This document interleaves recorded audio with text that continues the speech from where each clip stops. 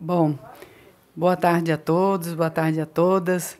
Em primeiro lugar, agradecer é, aos membros dessa comissão que estão aqui hoje participando dessa audiência pública, é, a deputada Dirce, os deputados Felipe Estevam, Fernando Krellin, Jair Mioto, Neudi Sareta e também o deputado Sérgio Mota.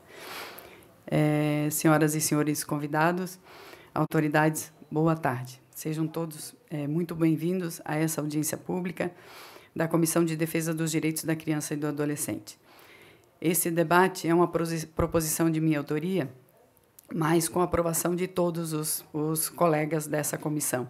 E o que nos reúne aqui hoje é a busca de alternativas para conter uma das mais graves sequelas da pandemia, pandemia da Covid-19 e contra a qual precisamos nos unir. É, aliás, unir todos os esforços. A evasão escolar no nosso Estado. O objetivo dessa audiência pública é identificar o tamanho desse problema para que nós possamos definir possíveis ações é, de enfrentamento. Todas as instituições que estão aqui representadas é, já estão trabalhando para recuperar essas crianças e adolescentes que abandonaram a escola durante a pandemia. Mas eu acredito que unidos nós teremos melhores chances de conseguir um resultado mais efetivo é, no resgate desses estudantes. E como presidente da Comissão de Defesa dos Direitos da Criança e do Adolescente, eu propus essa audiência porque acredito que é urgente traçarmos um diagnóstico da evasão é, escolar provocada pela pandemia nas redes públicas do ensino de Santa Catarina.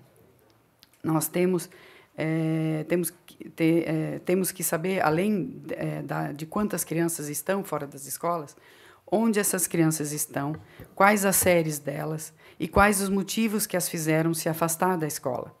Essas informações poderão nos dar um embasamento para é, definirmos quais as estratégias são mais adequadas para resgatar todas as crianças e adolescentes que estão fora das salas de aula e para tornar essa busca ativa mais eficiente e duradoura. Certamente todos aqui também entendem a educação como uma das ferramentas mais importantes de inclusão social, que vai além de um direito constitucional de toda criança e adolescente. Somente pela educação, muitas crianças e adolescentes do nosso estado e do nosso país terão a chance de mudar a realidade de suas vidas. Garantir a oportunidade para que tenham acesso a um futuro melhor é uma obrigação de toda a sociedade.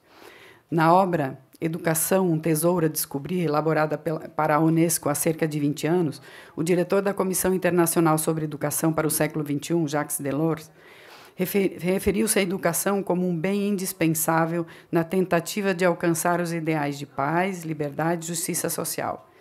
Nesse relatório, a educação foi considerada não como um milagre ou magia, mas a melhor maneira de propiciar uma atmosfera de melhorias para, nós, para toda a humanidade.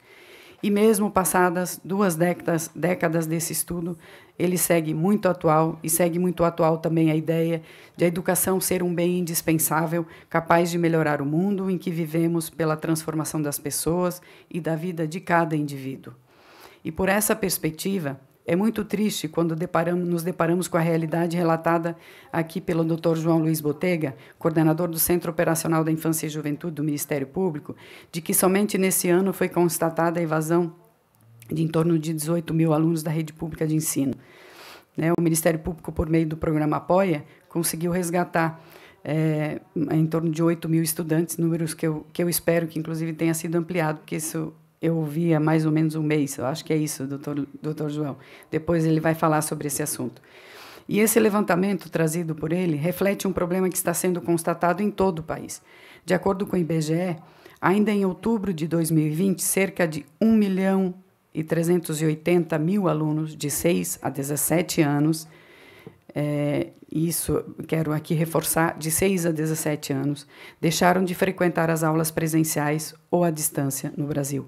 E outras 4 milhões, mesmo matriculadas, não receberam nenhuma atividade escolar, num total de 5 milhões e 500 mil crianças e adolescentes sem acesso à educação. Mesmo se tratando de uma amostragem, esses números correspondem a uma evasão de 3,8% dos estudantes matriculados, quase o dobro de 2019, antes da pandemia, quando o índice de evasão foi de 2%. Significa que antes da pandemia nós tínhamos, o que já é muito, 1 milhão e 700 mil jovens em idade escolar fora das salas de aula, número que disparou para mais de 5 milhões com a pandemia. A questão da evasão escolar evidencia o drama vivido por muitas famílias, porque, na minha opinião, um contingente tão grande de alunos fora das aulas tem causas muito além do desinteresse pelos estudos. Penso que muitos estudantes, especialmente os adolescentes, trocaram o estudo pelo trabalho, porque precisam ajudar no sustento da família ou estão em casa cuidando de irmãos menores para que os pais e mães possam sair para trabalhar. Mas, independentemente das causas, os dados são extremamente alarmantes. O que tínhamos antes da pandemia era uma maior evasão entre os adolescentes no ensino médio. Agora, nós temos crianças entre 4 e 12 anos sem frequentar a escola, e isso é inconcebível e é gravíssimo. Podem ser vários os fatores, como esses que eu falei, e certamente também pela dificuldade de acompanhamento das aulas online, porque sabemos que a tecnologia, a internet, ainda não estão disponíveis da mesma forma para todos. Enfim, as motivações para a evasão têm causas diversas, e isso exige diferentes respostas do poder público. Os efeitos da pandemia na área da educação são muitos e representam um desafio intersetorial. Além da evasão, Há outros prejuízos sociais causados aos estudantes pela pandemia e o distanciamento social, como o aumento também da violência contra crianças e adolescentes, distúrbios psicológicos, emocionais e muitos prejuízos na aprendizagem. Na linha de estudos que estimam o impacto da pandemia, tem um relatório do Banco Mundial que prevê uma piora na capacidade de leitura e compreensão de textos pelos estudantes crianças com idade de estar no quinto ano do ensino fundamental, mas que não conseguem entender um texto simples. É um exemplo que mostra que os desafios vão muito além e que será preciso que se lance mão de estratégias de combate à evasão escolar de forma mais intensa, da mesma forma que são necessárias ações intersetoriais para o atendimento aos alunos e suas famílias para que possam ser recuperadas as lacunas deixadas pela pandemia. Como fazer? É o que vamos tentar discutir hoje eu tenho defendido pelo menos duas iniciativas que eu considero extremamente importantes nesse momento.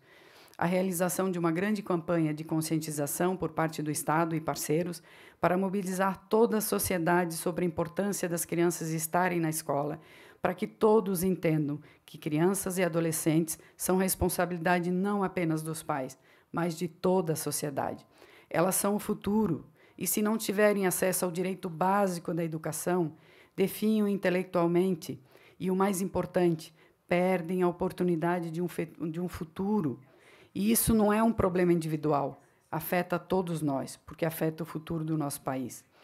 Outra ação que eu também defendo é a definição de uma política pública de apoio financeiro às famílias em vulnerabilidade social que, por conta da pandemia, optaram por tirar seus filhos da escola para ajudar no sustento da casa, para cuidar de irmãos menores enquanto os pais estivessem ausentes ou por outras razões. A gente sabe que a pandemia não afetou somente a saúde da população, afetou também as finanças de milhões de famílias. E uma pesquisa recente divulgada pelo IBGE mostrou que o desemprego formal no Brasil ficou em quase 14,7% entre fevereiro e abril desse ano, totalizando quase 15 milhões de pessoas desempregadas. Portanto, me parece razoável pensarmos em garantia de apoio financeiro aos mais vulneráveis, se esta for uma medida de estímulo aos pais e mães para enviarem seus filhos de volta para as escolas. São ideias que precisam ser complementadas, mas que podem ser alternativas para, para estimular o retorno desses alunos às aulas. E eu tenho esperança de que nossos esforços trarão resultados positivos, porque estamos dando um passo muito importante de nos unirmos para conter e reverter a evasão escolar. Por isso, obrigada a todos e a todas pela parceria e o comprometimento. Faço lembrar que o nosso evento também aqui está sendo transmitido pela TVA e pelo YouTube da Assembleia Legislativa de Santa Catarina. E em nome dela também eu agradeço a participação de todos vocês e desejo que tenhamos um evento, é, um, uma audiência pública muito produtiva. É, eu vou é, passar agora mais ou menos como é que a gente pensou em fazer aqui. Seria, em princípio, é, cada, é, é, cada, cada representante se manifestaria em torno de sete minutos. É, e teremos aqui, então, o representante do Ministério Público, que é o doutor João Luiz Carlos Botega, que tem informações muito importantes, para dados muito importantes para nos passar.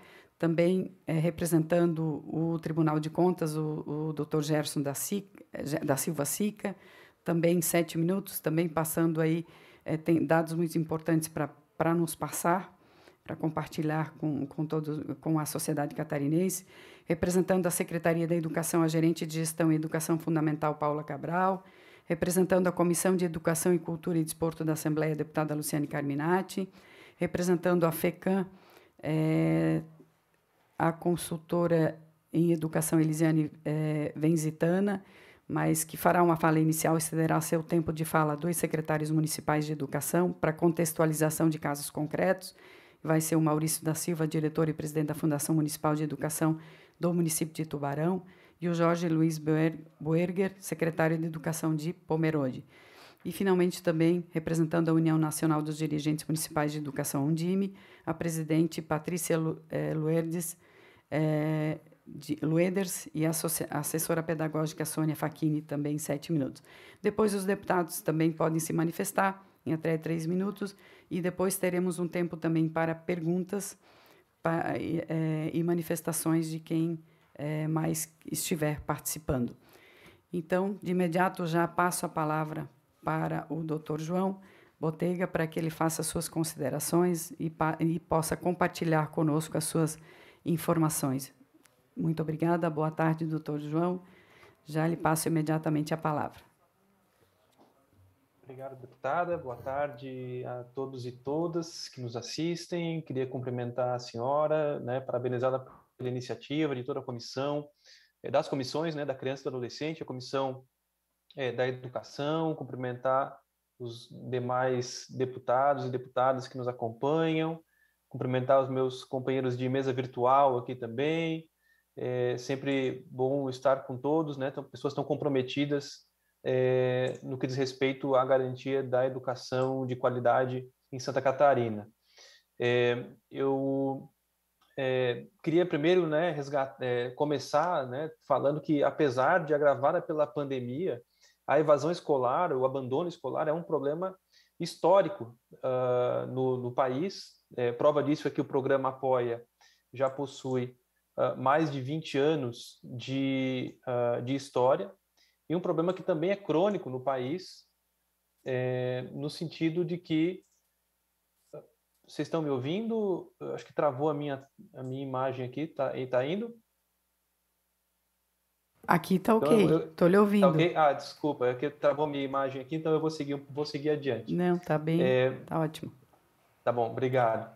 É, então, como eu falava, é um problema é, histórico, né? O apoio, o programa Apoia já tem mais de 20 anos de história aí, para provar, né, que é um problema que assola a sociedade brasileira é, desde sempre, né, é, e um problema crônico, né, como em todo o país, e Santa Catarina não é diferente disso, né, e trata-se então de um problema que é estrutural e por isso deve ser respondido e enfrentado estruturalmente, não apenas de forma paliativa, pontual ou individual. É, embora a política pública da educação seja aquela mais importante nessa discussão, quando a gente discute abandono e evasão escolar, é certo que a educação sozinha não consegue, não conseguirá vencer esse imenso desafio que se apresenta.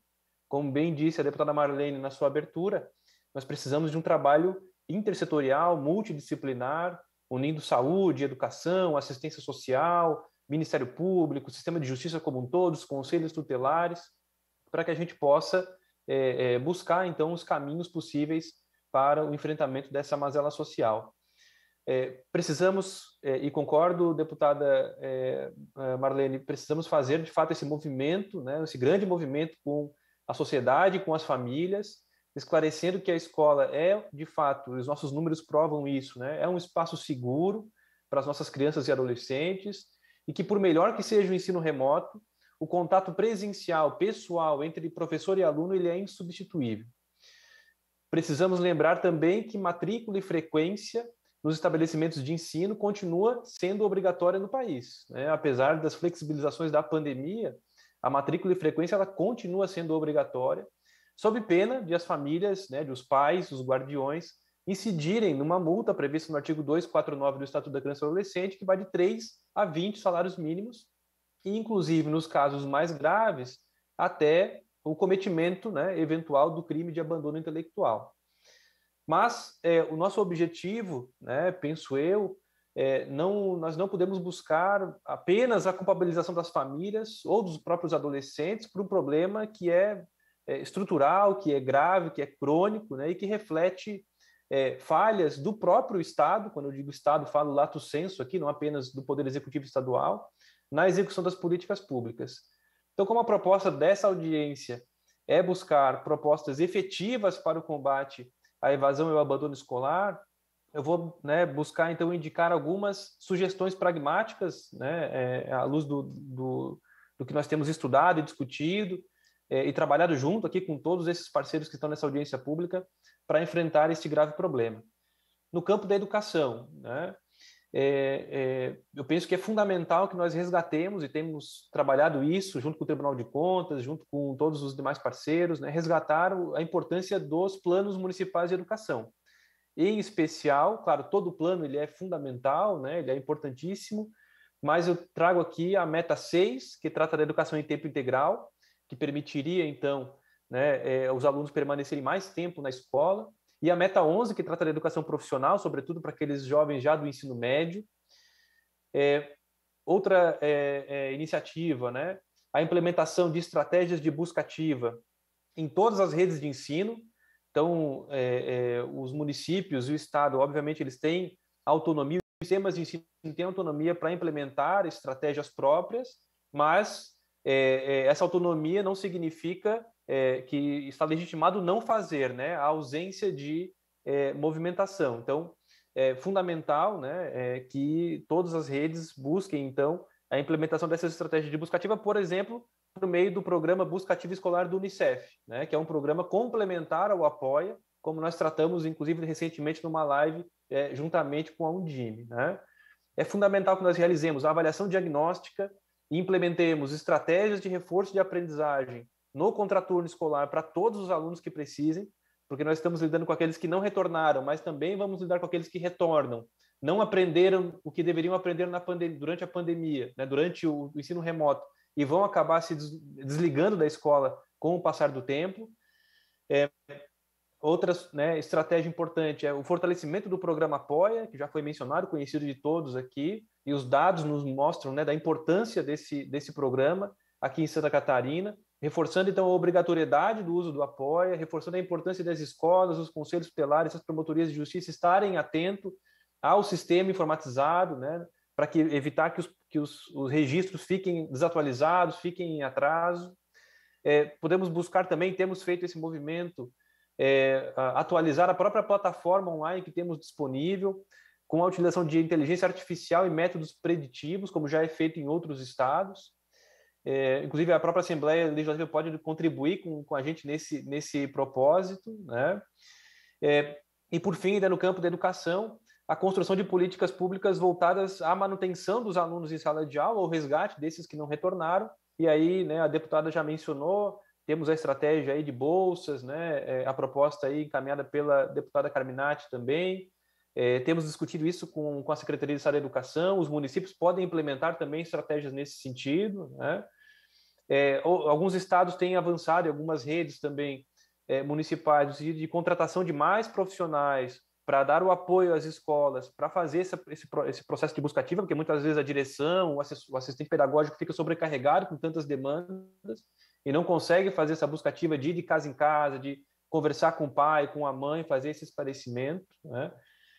Falei, já estou encerrando, deputado, que o tempo já está acabando, mas eu queria reforçar que temos outras políticas públicas também. Né?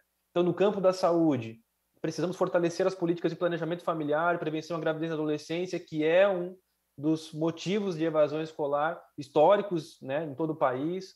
Precisamos fortalecer a política de saúde mental, a nossa RAPS, para combater o bullying, para combater suicídio e automutilação que continuam acontecendo e foram agravadas na pandemia. E fortalecer e implementar em todas as escolas catarinenses o programa Saúde na Escola, que vem justamente fazer essa conexão entre saúde e educação em cada uma das nossas escolas. Precisamos fortalecer com urgência a política de assistência social em Santa Catarina. Né? É, isso pressupõe um investimento maior dos municípios naquilo que é de sua atribuição, de sua competência legal e constitucional, e também o Estado garantir a regionalização da política de assistência social para que os municípios tenham condições, com o apoio do Estado, de executar as políticas de média e alta complexidade, sobretudo né, nos municípios de pequeno porte e nos municípios menores. É, poderia falar de outras coisas, vou só finalizar então é, com a importância né, de nós trabalharmos a política de profissionalização e aprendizagem no Estado, chamando então indústria, comércio, né, o nosso empresariado, as nossas forças produtivas. Nós temos aí um número bastante elevado de vagas ociosas de jovem aprendiz que podem ser utilizadas aí no combate à evasão escolar, porque a aprendizagem exige esta contratação é, é, mediada, então, pela garantia do, da manutenção da, do vínculo com a escola. É, precisamos pensar em, uh, em projetos de cultura, de lazer, de esportes para esses adolescentes também, para que eles se mantenham vinculados à escola. Então, uma miríade de ações né, é, é, que são possíveis e, e, nós precisamos avançar e realizar para garantir é, que os alunos permaneçam em sala de aula. E antes que eu esqueça, e para fechar, o fortalecimento dos conselhos tutelares também, que são os nossos parceiros nesse, no programa Apoia. É, é, até já conversei com a deputada Marlene, né, pensando inclusive aí numa linha de financiamento para os municípios.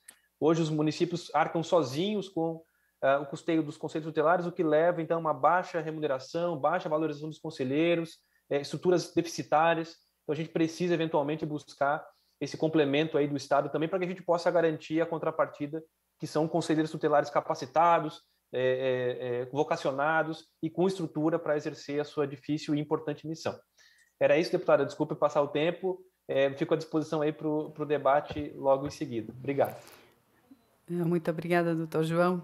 Imagina, o senhor sempre tem muita informação para compartilhar. Eu, inclusive, gostaria só de perguntar é, é, os números atualizados aí hoje são continuam sendo em torno de 18 mil ou tem é, temos números já mais atuais? Tenho, eu olhei o dado de, é, de hoje, né? São os dados que refletem de ontem, porque a nossa plataforma é atualizada diariamente. Aqui, já considerando, o primeiro semestre era só a rede municipal, né? Porque o Estado estava usando uma plataforma própria. A partir agora do segundo semestre, o Estado já é, voltou a usar a, o, o, programa Apoia também, então isso é, significou um incremento de número de casos registrados no Apoia, né? Então, aquele número que no mês passado era de 18 mil, Hoje nós temos 22 mil alunos registrados no Apoia, é, um crescimento de 3 mil é, registros aí de um mês para o outro. E desses 22 mil, nós temos 9 mil alunos que já retornaram, então crescemos também proporcionalmente né, é, com o que nós tínhamos antes.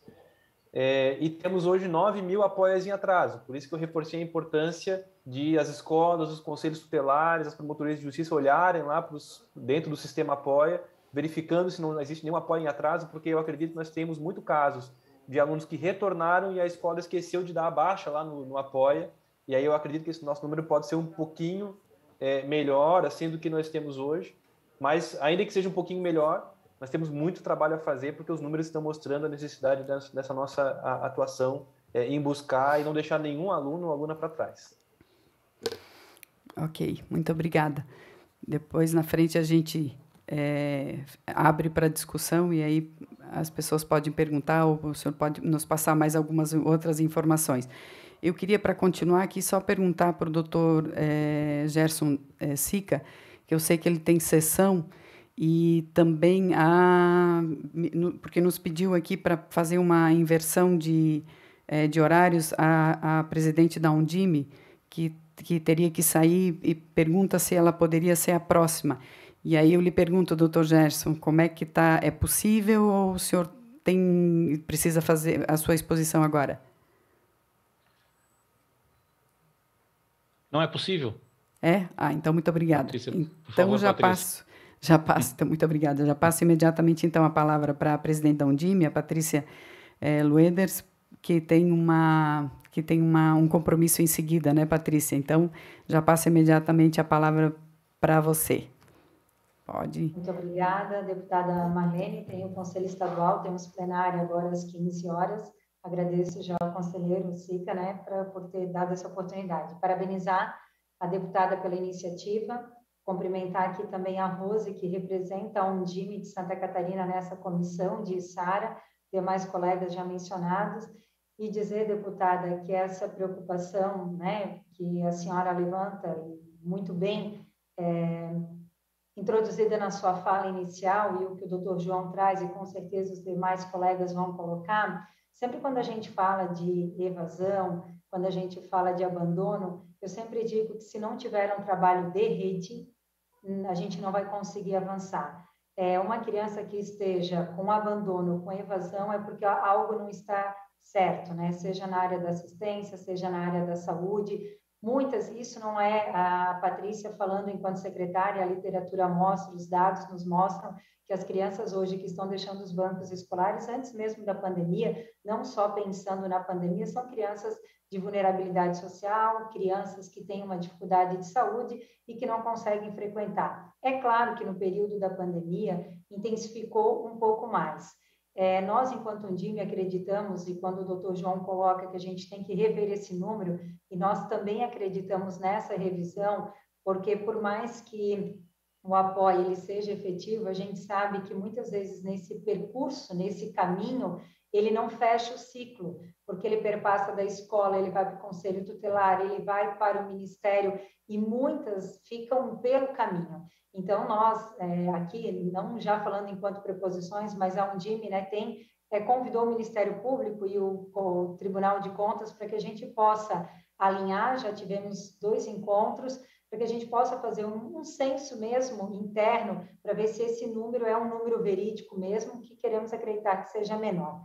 Porém, né, nós também temos nos municípios de Santa Catarina, depois de pesquisas que realizamos, relatos de secretários de educação, como muito bem, perdão, a senhora colocou, é, muitas famílias que, a partir do trabalho infantil, retiraram as suas crianças das escolas e essa dificuldade para o retorno. E o que nós temos percebido também é muitos municípios que muitas vezes, por uma falta de planejamento de organização, mantêm as aulas ainda remoto. Então a gente tem que ter esse cuidado, porque a partir do momento a Undime, ela sempre fez a defesa que não cabe a nós, enquanto área da educação, decidir a data do retorno. E desde o início a Undime ela vem defendendo que cabe à saúde. Então, hoje, nós temos todos os órgãos né, em conjunto, saúde, vigilância sanitária, defesa civil, que deu essa portaria, que já em 2020 traz a educação de Santa Catarina enquanto essencial, e nós ainda temos algumas realidades que não retornaram. E aí, é claro, a Undime, ela sempre vai respeitar a, o sistema municipal. Hoje, Santa Catarina é o estado com maior é, cidades que têm o seu sistema próprio, que têm os seus conselhos municipais de educação. Então, nós estamos falando mais de 95% com sistema próprio que não precisa seguir o sistema estadual. Porém, esse sistema próprio ele tem que ser consolidado. E aí eu vou, dizer, vou apresentar aqui que Santa Catarina e São Paulo foram os dois primeiros estados que conseguiram né, iniciar as atividades não presenciais, que conseguiram também retornar essa aula presencial. Então, o incentivo que a Undime faz e solicita ao gestor, mesmo respeitando a individualidade de cada município, é que não pode ser a falta de planejamento, a falta de profissional que vai tardar esse retorno que hoje a gente já tem a saúde garantindo. Por que eu falo isso? Porque quando a gente tem ainda essa dificuldade de 100% dos estudantes na unidade, faz com que a evasão aumente e, e acabando um abandono também. Por quê? A partir do momento que a família deixa uma semana em casa, muitos ficam em outras cidades, seja com os avós, as avós, com outros parentes, e acabam não trazendo na semana que deveria de vir. Então, o DIME tem incentivado que os municípios possam, né, a partir da sua realidade, trazer para esse 100%, seguindo o regramento, né, um metro, mas para que a gente possa compreender. E essa busca ativa, né, esse sistema apoia, que é um, é um, são ferramentas semelhantes e juntas, elas só vêm trazer com que esse estudante possa retornar. Nós temos orientado que o secretário né, oriente toda a sua equipe técnica que não seja uma busca ativa apenas por telefonema. Hoje, a pandemia ela acabou distanciando e muito a escola do estudante para que essa, esse trabalho de rede municipal ele possa, sim, seja um carro do conselho tutelar, ou da prefeitura, ou da saúde, que vá em loco saber quais são as dificuldades dessa família. Por que, que essa criança não está frequentando presencialmente é, o banco escolar? Então, a gente tem incentivado, e para além né, dessa busca ativa, a preocupação socioemocional. A Undime, hoje, nacional, ela tem uma parceria com o Instituto Ayrton Senna, aonde Santa Catarina fez adesão e essa preocupação né, socioemocional destes servidores e automaticamente essas crianças, porque eu sempre digo, os índices abaixaram, quando a gente fala que os índices abaixaram de crianças que tenha sido violentada, que tenha sido abusada, não é que eles abaixaram, é porque as, as escolas estão, estão deixando de detectar. A partir do momento que você tem a criança na sala de aula, é o professor que consegue perceber que aquela criança, aquele adolescente esteja com comportamentos diferenciados. Então, a importância dessa escola de quatro horas, a importância também dessa escola integral, que é a nossa meta também do Plano Municipal de Educação, para que a gente possa oferecer dentro de uma educação integral, enquanto as 10 competências da, da BNCC, integral enquanto corpo, mente, esse estudante de maneira, esse olhar integral. Então, a Undime, ela vem né, buscando todas essas parcerias, que tão logo ali para outubro se consolidar essa nossa parceria com o Tribunal de Contas e o Ministério Público de Santa Catarina, eu tenho certeza, enquanto sugestão aqui dessa audiência, eu coloco que essa ferramenta que a gente, se der certo, eu tenho certeza que vai dar, nós vamos ter um número real e um número que a gente vai poder saber quantas crianças estão fora realmente na rede de Santa Catarina, seja da rede pública municipal e da rede estadual. Muito obrigada. Muito obrigada, Patrícia. É, vai falar também a assessora pedagógica, é isso? A Sônia? É cinco minutos também? Não. Não? Ah, então já. Tá bom. Então, muito obrigada, Patrícia, pelas suas informações. Vou passar já imediatamente para o conselheiro é, auditor Gerson da Silva Sica, para a sua manifestação, que vai falar um pouco sobre é, as metas da educação aqui em Santa Catarina. Já passo a palavra imediatamente para o senhor. Muito obrigado, deputada. Uma boa tarde a todas e a todos. Cumprimentar uh, todos os parlamentares em nome da deputada Marlene, a todos aqui que estão comigo hoje né, na audiência, os companheiros aqui da audiência virtual. Uh, também cumprimentar uh, os deputados da Comissão de Educação, Penso que uh, essa a iniciativa da deputada Marlene da Comissão de Defesa dos Direitos da Criança e do Adolescente, ela é essencial até porque ela pode ser um grande catalisador de várias iniciativas que estão sendo pensadas por todos os, os órgãos que trabalham uh, o tema da educação. Eu queria rapidamente aqui explicar o contexto que o Tribunal de Contas uh, discute e fiscaliza a educação. Nós analisamos obviamente, receita e despesa, como todos sabem, que esse é o papel principal do Tribunal de Contas, mas também não analisamos apenas quanto à regularidade formal, e sim quanto à realização né, dos objetivos da política pública. E fazemos isso nas contas do governador, dos 295 prefeitos e prefeitas de Santa Catarina, e por meio de auditorias, inspeções e levantamentos. E temos uma preocupação muito grande, desde que foram aprovados os planos de educação, de observar o cumprimento né, do plano nacional, do plano estadual, dos planos municipais de educação. Dentro, desse contexto, já há algum tempo, nós uh, temos chamado a atenção para a importância da busca ativa, porque nós estamos falando muito de evasão, mas também sabemos que milhares de alunos sequer estavam matriculados né, nas nossas redes de ensino. Nós temos o painel da Meta 1 do plano de municipal dos planos municipais de educação, que será colocado na internet agora no final do mês de setembro.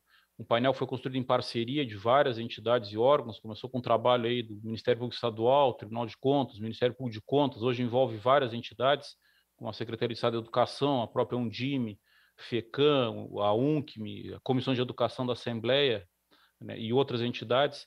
E ali nós já tínhamos dados de 2019, que na, na pré-escola nós ainda tínhamos 22 mil crianças, em torno de 22 mil crianças que não estavam, né, na idade de 4, 5 anos, que não estavam matriculadas nas escolas. Então, é, isso é dado de 2019. É provável que hoje nós, e, e nós hoje, pelas avaliações que nós temos, nós sabemos que esses, esses números uh, eles uh, se agravaram diante da pandemia. Bom, dito isso, eu queria explicar um pouco o que, o, que o Tribunal de Contas vem fazendo ou por sua iniciativa ou em parceria com outros órgãos, e tentar propor algumas linhas aqui, algumas diretrizes para que nós possamos uh, avançar nesse debate tão importante.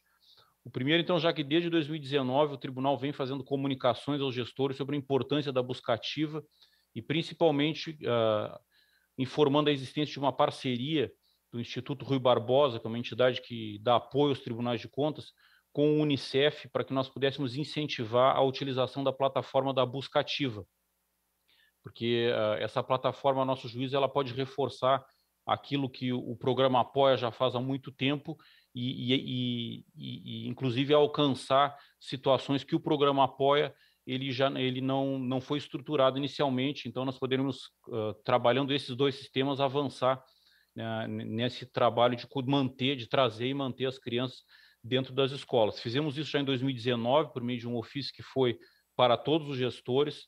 Durante a pandemia, nós uh, emitimos uma cartilha, também com orientações para o período da pandemia, falando da importância da buscativa. Agora, em 2021, um novo uh, ofício da presidência, um ofício circular, encaminhou a chamada cartilha Todos na Escola, que foi feita com o Instituto Rui Barbosa, a Associação dos Membros do Tribunal de Contas do Brasil, a Undime, a Unesco, para uh, incentivando, um dos pontos incentivando aí a, o uso da buscativa, a propondo metodologias para isso, é, básicas, obviamente respeitando a, a atuação de cada um. Então, nós cumprimos um papel orientativo, pensamos que era muito importante nesse período da pandemia. Além disso, nós também temos o nosso papel fiscalizatório de controle, e, e nós temos em andamento aqui já um, processo de planejamento e, e, de diálogo com a Secretaria de Educação, uma auditoria para verificar os procedimentos que a, a rede estadual vem adotando para enfrentar os efeitos da pandemia. Dentre eles, lá temos a questão da busca ativa dos estudantes que não retornaram e também os aspectos, deputada, que a senhora bem mencionou, da vulnerabilidade, esses aspectos também estão incluídos nessa auditoria. Nós ainda não dispomos de dados, está no, na, num, no momento inicial, e tudo aquilo que foi levantado, até por questões uh, específicas de como se dá o procedimento né, de auditoria, nós não teríamos condições de trazer nesse momento né, uh, público né, pra, para debate, até porque há necessidade de ouvir a secretaria, de elaborar posteriormente uma conclusão sobre aquilo que foi apresentado. Uh, dentro de todo esse contexto, eu também queria mencionar alguns trabalhos que foram feitos, algumas notas recomendatórias que foram emitidas pelo Comitê Técnico de Educação do Instituto Rui Barbosa, uma delas muito recente, a 04-2021, falando da importância de garantir a matrícula a qualquer tempo, então tem que buscar os alunos, matriculá-los e trazê-los para o para o para nossa para nossa rede novamente. E por que, que isso é tão importante? Por que, que essa nota foi uh, foi emitida? Porque ela fecha um ciclo de uma outra nota que é 02-2021, que fala de uma série de providências que os gestores têm que tomar para garantir o atendimento aos alunos presencial ou remoto. Por que, que isso é importante? Porque nós sabemos que nós estamos no curso de uma execução orçamentária, o orçamento foi previsto ano passado, e todos esses procedimentos podem exigir esforço adicional do Estado e dos municípios, porque há custos, nós sabemos, para trazer esses alunos que não estavam, uh, para fazer a busca ativa, para fazer essa integração de políticas de assistência, saúde, né, para que possamos ter todos esses procedimentos, obviamente precisamos de recursos. Isso pode, muitas vezes, ter como óbice a, a insuficiência de recursos orçamentários. E o que, que os tribunais de contas vêm orientando? O direito à educação é um direito constitucional assegurado, é um direito público subjetivo, e eventual insuficiência orçamentária ou até mesmo ausência de condições de infraestrutura não podem impedir o acesso ao direito à educação. Se há esses impeditivos, o gestor público deve adotar os procedimentos necessários para garantir a regularidade da sua execução orçamentária, até no limite, se for necessário, abrindo créditos para isso, fazendo remanejamentos dentro do orçamento. E quanto à questão da infraestrutura, eu acho que a, a, a secretária Patrícia tocou um ponto bem importante aqui. Nós não, uh, quanto ao problema da infraestrutura, isso nós vemos dizendo desde, do ano, desde o ano passado, os órgãos de controle, Uh, deficiências de infraestrutura não são justificativa para negar o acesso ao direito à educação. Principalmente em Santa Catarina, onde uma lei, né, do final do ano passado, aprovada pela Assembleia Legislativa, estabeleceu a educação como atividade essencial.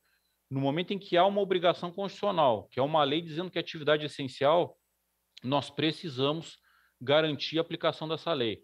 É, é bom deixar claro, deputada, deputada e, e, todos os parlamentares que estão aqui, os demais presentes, que talvez já adiantando uma possibilidade de encaminhamento, seja sinalizar nesse sentido, que a educação é essencial e que uh, o cumprimento dessa obrigação é um dever imediato dos gestores públicos porque o, o, gestor público recalcitrante ele pode inclusive no limite vir a ser responsabilizado né, uh, pela, pelas instâncias competentes caso ele não garanta a oferta do direito à educação.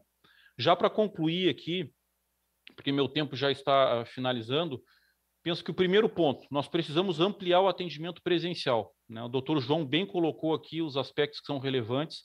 A primeira, nós sabemos que muitas vezes os pais uh, não mandam, o, o, não, deixam o filho fora da escola porque veem que o sistema, na visão deles, não está funcionando, não é adequado, porque a dificuldade de organizar em casa a, a, rotina da família. Então, retornar o mais próximo da normalidade, o atendimento presencial, é uma condição muito importante para que nós possamos combater a evasão. Então, acho que nós podemos, quem sabe, já propondo como sugestão, é, pensar em uma comunicação, algo do tipo sinalizando a importância de fazer isso, até porque é uma obrigação legal. O segundo aspecto é a, é a atuação conjunta, que a secretária Patrícia aqui bem falou. Nós sabemos que é muito difícil unificar dados, são 295 municípios, o Estado é uma unidade, mas os municípios são 295. Nós temos que pensar como fazer isso, até porque nós não temos dados abrangentes ainda sobre evasão escolar no Brasil e em Santa Catarina. Nós trabalhamos muito na perspectiva da estimativa. Então, talvez uma possibilidade de atuação conjunta, agregando Uh, já temos órgãos de controle em conversa com a Undime, mas quem sabe agregar as comissões que tratam do tema da Assembleia Legislativa para pensar, um, quem sabe, um grupo de trabalho nesse sentido, ver expertise, uh, ter profissionais de cada setor, de cada órgão trabalhando nisso aí. E, uh, além disso, penso que nós precisamos, sim, talvez trabalhar na perspectiva da campanha e reforçar o que o doutor João falou colocar na pauta do dia os planos municipais de educação. Os nossos dados sobre ensino profissionalizante eles são constrangedores no Brasil e em Santa Catarina. E nós temos que encarar a realidade de frente. No, ah, muitos dos alunos chegam no, início, no ensino médio, eles vão trabalhar, porque eles precisam ah, ajudar no sustento da família. E se nós não oferecermos um ensino médio que realmente conecte esse estudante com, com a sua seu desejo de obter renda e de eh, conseguir ter uma profissão, nós não vamos conseguir resolver o problema histórico do ensino médio. A educação profissional meta associada também ao tempo integral, o doutor João bem falou aqui, outro ponto que nós temos nos preocupado muito com os órgãos de controle, vem caindo, inclusive, o número de matrículas no tempo integral, nós temos que reverter todos esses problemas. Então, basicamente, seria essa minha fala inicial, pedindo desculpas, passei um minuto, o tempo aqui pelo meu, meu cômputo, agradecendo a oportunidade. E agradecer também a presença da nossa diretora aqui, Monique Portela, que é diretora das atividades especiais, que pode, eventualmente, também uh, trazer informações adicionais que a comissão entenda importante. Muito obrigada, conselheiro, é, pela sua importante participação, sua importante manifestação e trazendo dados muito importantes, corroborando é, informações importantes também, é, já apresentadas aí pelos, pelas, é, pelos participantes da mesa aí que se manifestaram anteriormente.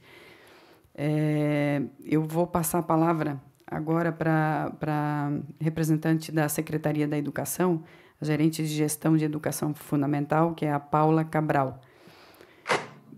Tá aí, né, Paula? Tá. Já passo a palavra para você. Olá, boa tarde, me ouvem bem?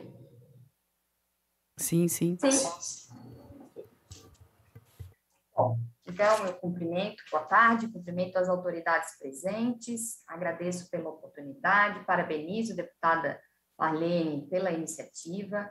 É um debate sensível, importante, é um debate que preocupa a Secretaria de Estado da Educação. Uh, o tema da evasão e do abandono escolar são pautas frequentes que direcionam o trabalho da Secretaria de Estado da Educação e exige, obviamente, como muitos colegas e autoridades aí já falaram, o trabalho em rede para que a gente consiga buscar soluções efetivas. A Secretaria de Estado da Educação, desde o início da pandemia, tem se preocupado, então, com o direito à educação e, diante disso, instituiu, por meio da Portaria 924, o regime especial de atividades escolares não presenciais. As aulas não presenciais buscaram naquele primeiro momento da pandemia, oportunizar aos estudantes possibilidades diversificadas de aprendizagem em seu percurso formativo, se preocupando com a manutenção do vínculo dos estudantes com as suas escolas, com seus professores e principalmente com o conhecimento. É importante esclarecer que os dados oficiais né, sobre a evasão, considerando a evasão como um fenômeno que provoca a ruptura com o processo de escolarização, a saída sem retorno, os dados oficiais são de 2017, que permitem, por meio do censo escolar, fazermos, então, uma avaliação de quantos estudantes estavam matriculados no ano e, no ano posterior, quantos estudantes efetivamente retornaram ou não. O último dado de evasão, então, é oficial do censo escolar, do INEP, é pautado nos dados de 2017 e 2018 e trazem indicativos sobre as escolas públicas estaduais e municipais. Nesse dado, a gente vai observar que os índices de evasão nos anos iniciais são de 0,4, mas ao longo da educação básica, sobretudo no final dos anos finais do ensino fundamental, ele aumenta para 4,6. Em relação aos anos de 2020 e 2021, durante o regime especial de atividades escolares não presenciais, nós trabalhamos com mapeamento de dados que indicam o abandono escolar, ou seja, se refere ao movimento de saída e retorno por parte dos estudantes, um fenômeno que a gente estuda e, e avalia por meio da infrequência. Para isso, a sede implementou a busca ativa, né, ao invés do programa Apoia no período da pandemia, que é uma ação intensiva e permanente de identificação dos estudantes que estão fora da escola por abandono, ajudando-os a retornar ou a manterem-se vinculados à escola por meio das atividades escolares não presenciais, com o objetivo, obviamente, de fazê-los permanecer e garantir que todos aprendam. A busca ativa possibilitou identificar é, os motivos pelos quais os estudantes não estavam participando das atividades propostas e também promover as articulações necessárias com a rede de proteção à criança e ao adolescente. A ferramenta da busca ativa foi reformulada para melhor monitorar a permanência dos estudantes nas escolas subsidiando a proposição de políticas educacionais no âmbito do direito à educação. As reformulações resultaram em um painel que hoje permite acompanhar os estudantes que tiveram registro de busca ativa diante das escolas e retornaram ou não à escola. Em 2021, por volta de 2% dos alunos atendidos em 666 escolas que ofertam anos iniciais, finais e ensino médio, 500 mil alunos mais ou menos, tiveram registros. Em agosto deste ano, com o retorno das atividades presenciais, a busca ativa foi substituída pelo sistema Apoia, com reformulações, com plataforma que possibilita identificar os motivos pelos quais os estudantes abandonaram a escola.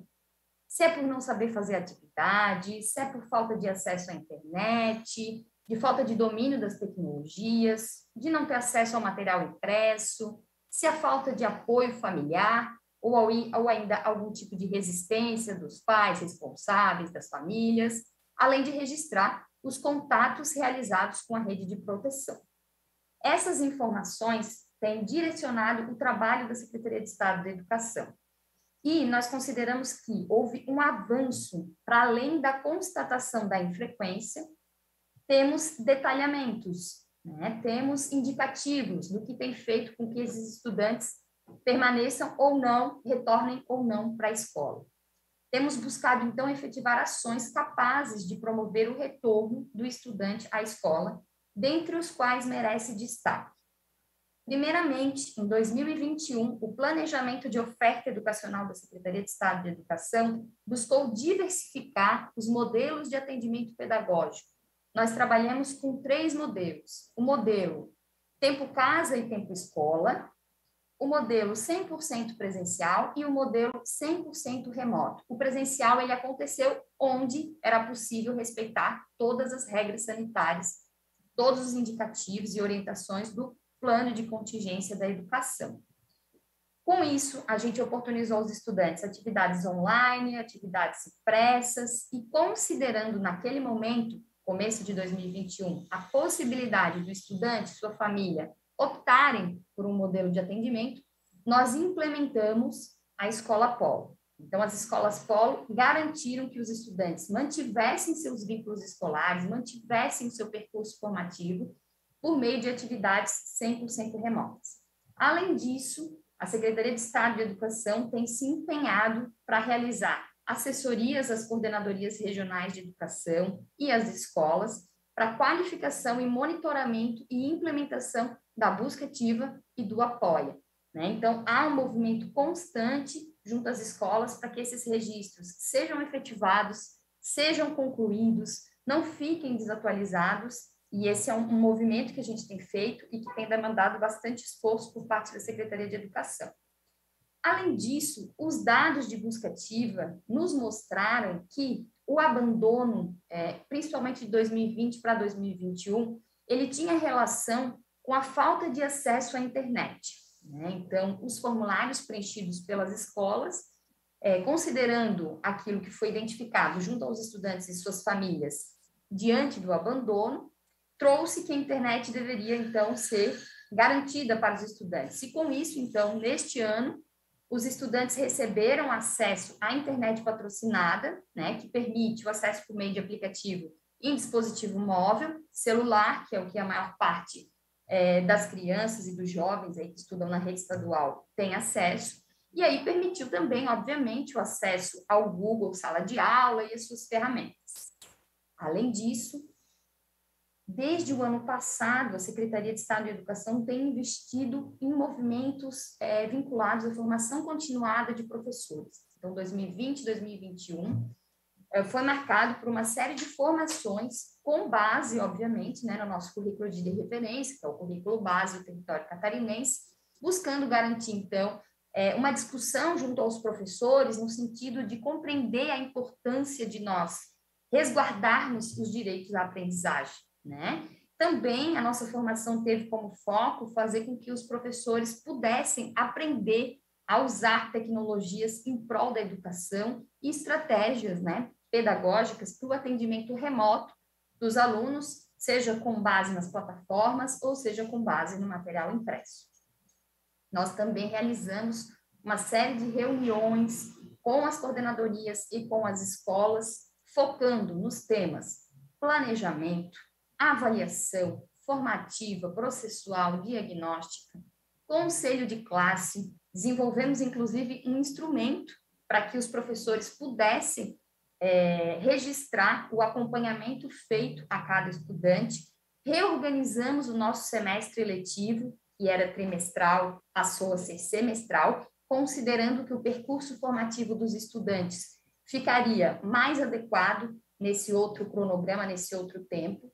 Também fizemos o levantamento de participação, de avanço, de dificuldades dos estudantes. Estabelecemos também uma discussão central sobre o contínuo, o contínuo curricular e a priorização curricular, ou seja, identificamos quais seriam as, os conhecimentos prioritários, as competências, as habilidades que foram ou não apropriadas para que daí pudéssemos desenvolver um trabalho pedagógico bastante focado em cada estudante. Além disso, também trabalhamos as especificidades durante a pandemia das terminalidades, né? Então, as terminalidades, tanto dos anos iniciais, como dos anos finais, como do ensino médio, sempre trazem desafios no âmbito da gestão educacional.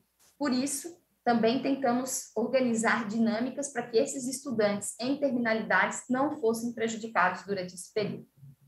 No segundo semestre agora de 2021, nós temos a reposição que está acontecendo por meio das escolas polo, que, por conta de uma série de desafios, sobretudo na contratação de professores, tivemos aí um calendário que, em algumas unidades, começou um pouco mais tarde do que em relação à rede estadual no movimento presencial ou tempo casa, tempo escola, e temos também, para além da reposição, o apoio pedagógico que nesse momento está acontecendo em contraturno, já em algumas regionais, em algumas escolas, em contraturno e por meio de plataforma também. A plataforma disponibilizada também é o Google Sala de Aula, mas além do Google Sala de Aula, agora a gente tem o apoio do Educa SC, que é um projeto da Secretaria de Estado da Educação em parceria com o estado de Amazonas e uma parceria com uma emissora local de televisão, em que a gente faz, então, a exibição em três períodos, manhã, tarde e noite, e por dois canais, de todos os conteúdos, então, que são essenciais para o desenvolvimento, para o percurso formativo dos estudantes. Além disso, a gente tem, então, um apoio pedagógico vinculado às aulas na TV e um atendimento né, em contraturno. Também trabalhamos agora, né, intensivamente a partir do mês de setembro, no retorno à presencialidade, considerando, né, todas as medidas postas no Plano Edu, atualizamos todas as diretrizes, considerando todo o fenômeno é, de evasão e de abandono, né, todo o suporte necessário para que o estudante retorne à escola. Então, trabalhamos garantias no âmbito da alimentação, do transporte, é, de gestão de pessoas, das diretrizes pedagógicas e, enfim, todo, né, toda a estrutura necessária para prover uma educação é, de qualidade e que atenda aí as demandas do momento. É, todas as nossas diretrizes do Plano Com Edu, elas estão pautadas também no acolhimento, na garantia da aprendizagem, em propostas pedagógicas e metodológicas que possam, de fato, trabalhar na perspectiva do, do contínuo curricular e da priorização curricular, considerando o ciclo 2020, 2021 e 2022, conforme aí determinam as orientações do Conselho Nacional de Educação e Conselho Estadual de Educação. Também cabe salientar aqui os investimentos que a Secretaria de Estado da Educação tem feito no âmbito da infraestrutura, no âmbito da aquisição de equipamentos e de materiais pedagógicos, jogos, livros, enfim, ações que visam tornar o ambiente da escola mais atrativo, trazer mais qualidade para as propostas educativas desenvolvidas pelos professores e também para o ano que vem, 2022, há previsão de retomada da oferta do Programa Estadual Novas Oportunidades de Aprendizagem, o PENOA, um programa de contraturno com foco no apoio pedagógico e que foi paralisado por conta da pandemia, mas em 2022 nós temos a perspectiva de oferecê-lo novamente. Também temos a oferta do Programa de Acolhimento a Refugiados e Estrangeiros, o PARE, que iniciou na semana passada suas atividades ao, a, de atendimento aos estudantes estrangeiros e refugiados no período de contraturno, e as ações né, do nosso Núcleo de Educação e Prevenção à Violência, nosso NEP. Bom, Estão aqui elencadas, então, uma série de ações que buscam tratar do fenômeno do abandono escolar e, consequentemente, evitar que o abandono se transforme em evasão. Eu agradeço, finalizo por aqui a minha fala. Muito obrigada, Paula, representando aí a Secretaria da Educação, falando um pouco sobre as ações da Secretaria no âmbito do nosso debate aqui hoje. E, finalmente, então, vou passar a deputada Luciane é, teve que se retirar. Estou vendo que o, o doutor Gerson também vai ter que se retirar. Agradeço muito a sua participação, sua contribuição. E depois nós colocaremos as suas é, contribuições aqui no documento que vai é, que repassaremos a todos os participantes. E só uma das suas sugestões que eu achei é, extremamente interessante é que se se crie, ou então depois a gente veja algum dos planos de é, grupos de trabalho já existentes, né, doutor João, já tem é, vários, é, e de repente a gente incluir em algum deles essa, esse debate e esse acompanhamento das ações que forem né, que, que foram sugeridas, enfim, que, que a gente comece a desenvolver a partir daqui, possam ser acompanhadas, cobradas, enfim, que a gente possa ter esse grupo trabalhando para em prol dessa desse tema tão importante, tão, tão é, sensível, mas e que exige, como foi falado por praticamente todos aqui, um trabalho intersetorial, um trabalho de rede e que todos nós temos que fazer a nossa parte.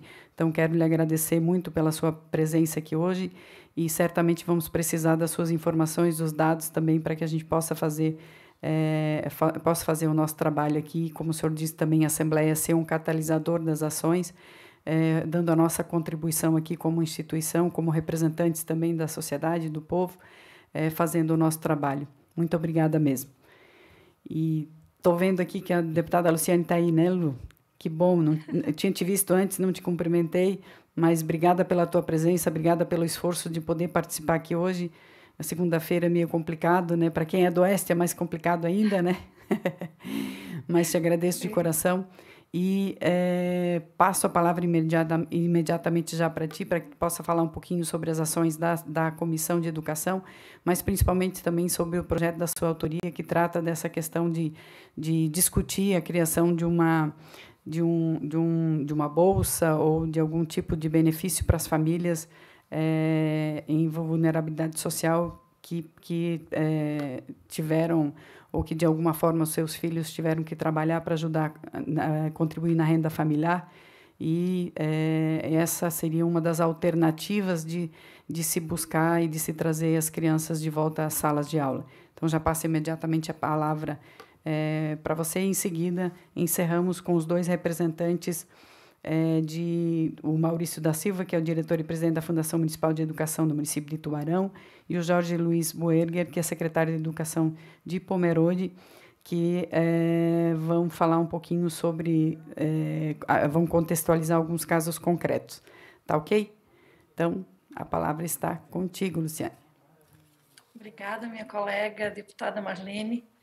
Eu precisava estar contigo aqui porque compartilhamos de muitas lutas semelhantes, né? E que, neste caso, diz respeito às nossas crianças e adolescentes.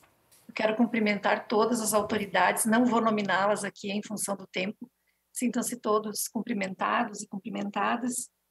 É, esse é um tema na educação, eu sou educadora há mais de 30 anos, é um tema de quando eu fazia magistério, a gente tratava, né? Da evasão ou do abandono, né?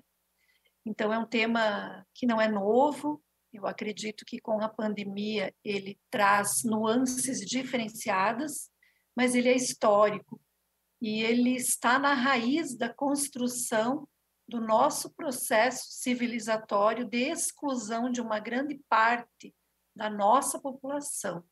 Eu lembro de uma palestra do ex-ministro Janine Ribeiro, quando ele fala da história da educação brasileira, ele disse que é um projeto que deu certo, que era para não ter todo mundo na escola, aprendendo e em condições, e deu certo, né?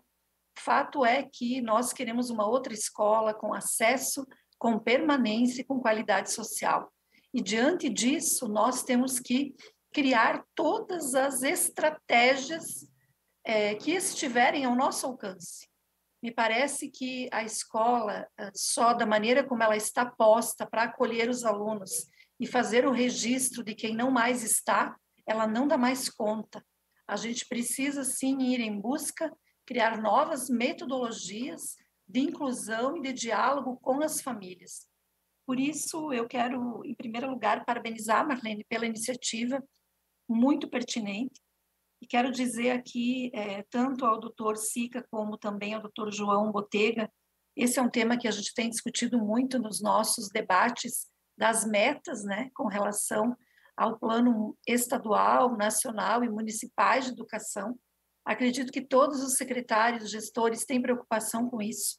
A gente perde muita noite de sono pensando como é que traz de volta para a escola aqueles que se foram e como é que traz aqueles que não vêm. Né?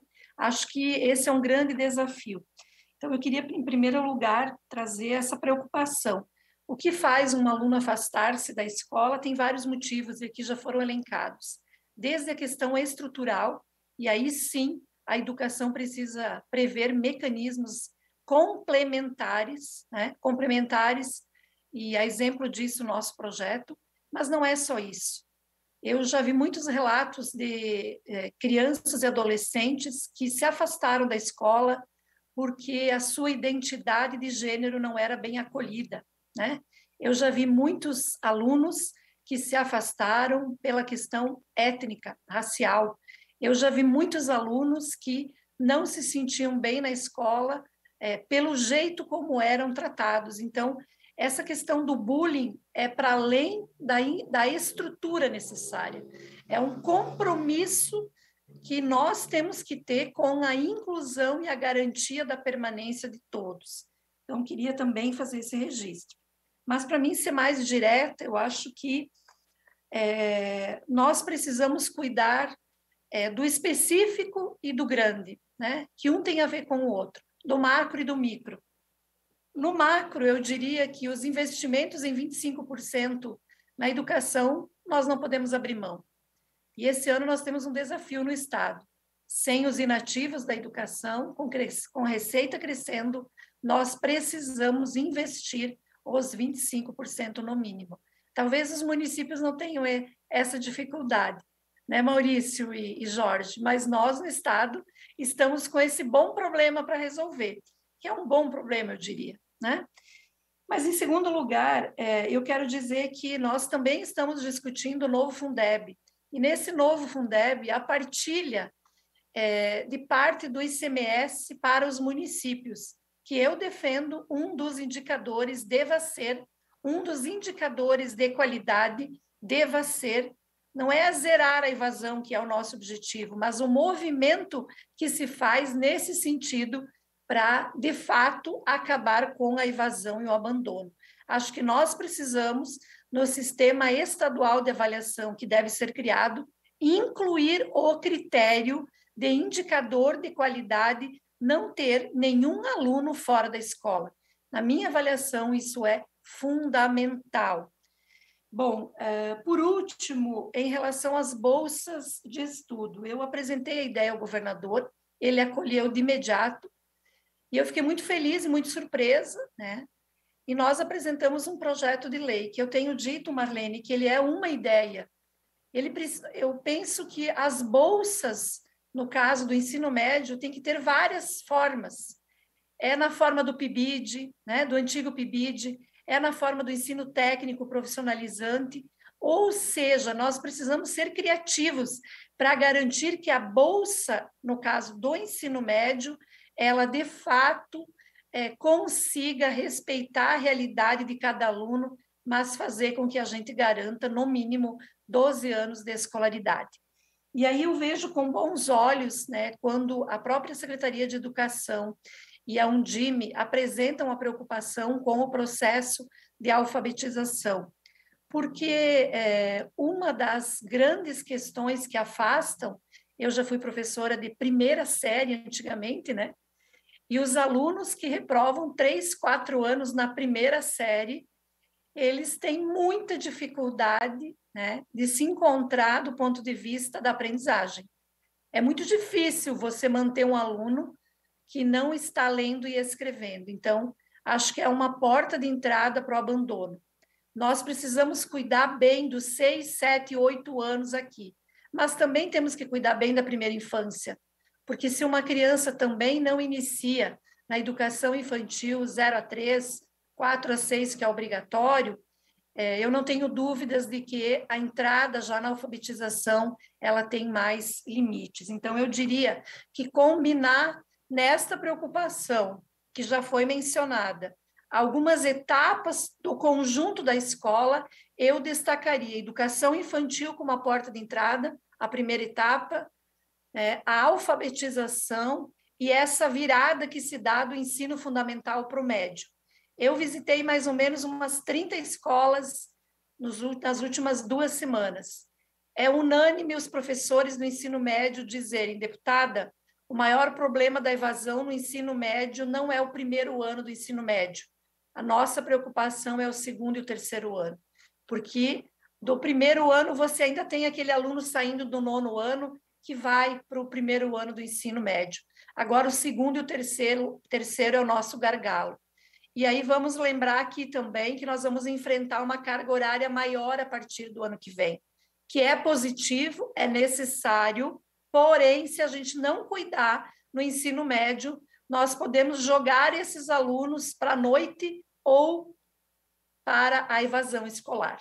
Então, eu quero fechar dizendo aqui é, que eu não tenho dúvida de que temos que cuidar dos 25%, cuidar dos indicadores de qualidade na, par, na partilha do ICMS e temos que cuidar dessas etapas em especial e, no conjunto, é, dar as condições para que os nossos educadores construam uma escola onde o tema da diversidade seja tratado com respeito, com responsabilidade, mas que esteja na ordem do dia, sem medo de falar disso, porque o medo de um educador de falar disso pode significar mais alunos abandonando a escola, e não é o que nós queremos. Muito obrigada.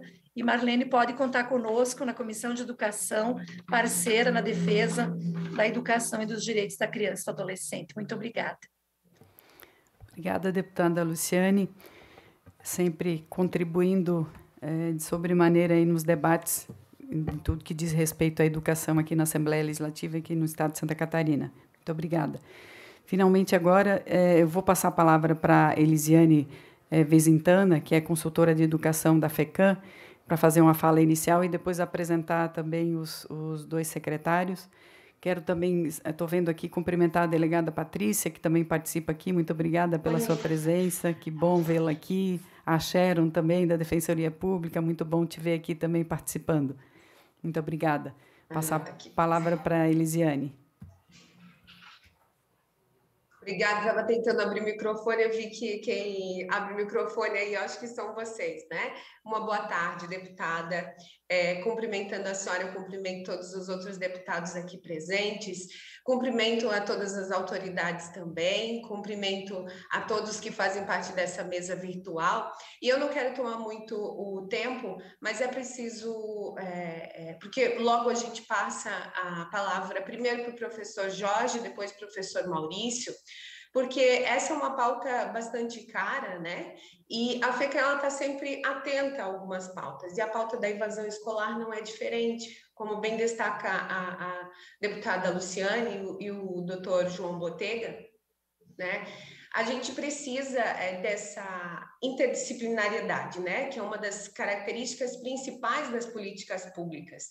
Então, é, nesse contexto, a gente precisa fazer algumas conexões e por isso a implementação também da Lei 3.935 sobre a, as equipes multiprofissionais na rede de ensino básico, né? O professor Maurício e o professor Jorge trarão a, a, o caso deles, porque uh, nós chegamos aos municípios uh, através da Câmara Técnica de Educação, que foi criada aqui na FECAM, e uh, quando a gente fez esses encontros, a gente ainda tem que fazer em algumas regiões, com algumas associações, a gente abriu para que os municípios pudessem fazer amostras uh, de boas práticas. E nessas amostras, nós tivemos os casos de evasão escolar. E são casos de sucesso que a gente pode adotar como estratégia, como exemplo para outros municípios. Então, é, a gente já anuncia que, né, já anunciamos antes, nós faremos uma mostra catarinense de boas práticas, incluindo vários outros temas, mas esse também será um tema importante. E a FECAM fará uma plataforma dessas boas práticas, né, de boas práticas inovação, para que fique à disposição de todos os municípios, para que seja utilizado como exemplo. Então, é, desde já eu agradeço e passo a palavra para o professor Jorge, para que ele faça a exposição dele. Muito obrigada. Obrigada, Elisiane. A todos, eu saúdo e agradeço especialmente a Elisiane, né, pela oportunidade e pelo convite. Dizer que é uma honra para o nosso município, né? Quero saudar a deputada Marlene, em seu nome e todos os parlamentares, dizer da nossa alegria, um parlamento feminino genuinamente preocupado com a educação. Isso é muito valioso, né? Porque vocês mulheres têm um papel fundamental na educação no nosso país, que está no mundo inteiro também, né? Então, parabéns, Marlene, pela iniciativa. Então, minha saudação a vocês, aos demais colegas aqui na participando dessa audiência pública. Vou falar um pouco de Pomerode. Pomerode atende as crianças da educação infantil e do ensino fundamental, então de zero até de zero anos lá na creche até o nono ano do ensino fundamental. Então, a nossa realidade de atendimento às crianças está muito focada nos pais. Então, busca ativa tem muita ligação também como a família acompanha o seu filho ou não, não é? No, no, no seu, na sua caminhada escolar. É, Pomerode, desde o ano passado, com a, a situação da pandemia, tentou se organizar para dar o atendimento às crianças. A princípio, pensando que fosse algo rápido e logo iria voltar, mas depois organizando o ensino não presencial efetivamente. E eu lembro que na primeira reunião que nós tivemos dos diretores, eu levei para eles um trecho do filme é, Nenhum a Menos. É um filme chinês do ano de 1999 que fala de uma professora do interior que vai, é, é, ela recebeu uma missão, né, de um professor que se aposentou, dizendo: você cuide e não deixe que nenhuma criança se perca. E olha o nome do filme, Nenhum a Menos. Então, essa era a nossa missão. Como enfrentar uma nova modalidade de ensino, no caso ali, ensino não presencial, que era uma novidade para todo mundo, sem deixar que nenhum a menos, nenhum se perca, quer dizer, que nenhum aluno deixe de ter garantido o direito de aprendizagem. E esse foi um esforço, não é, é, é contínuo dos diferentes profissionais na educação. Foi muito, muito interessante. Lá por julho, então, surgiu a, a, a ideia né, do, do, Ministério Público de Santa Catarina, doutor João, que coordenou isso, juntamente com a Undime, lançando essa plataforma de busca ativa, onde era o registro das crianças e adolescentes que não estavam é, fazendo as atividades e da busca deles para a gente saber o motivo. A princípio era uma questão mais estatística, né? tanto que a gente não colocou o nome da criança, só colocava a matrícula, porque era uma, uma, uma, um interesse estatístico de ver a situação deles. Mas nós aproveitamos isso aqui em Pomerode, para, a partir do registro que era feito, quando o registro era feito lá na, na naquele formulário, é, vinha um e-mail para a escola, e esse e-mail também era mandado para a Secretaria da Educação. E a gente, então, fazia contato com a escola e ver como estava sendo acompanhado essa criança ou esse adolescente que foi feito o registro. E nisso, a nossa psicóloga, ela ajudava e dando suporte para a escola.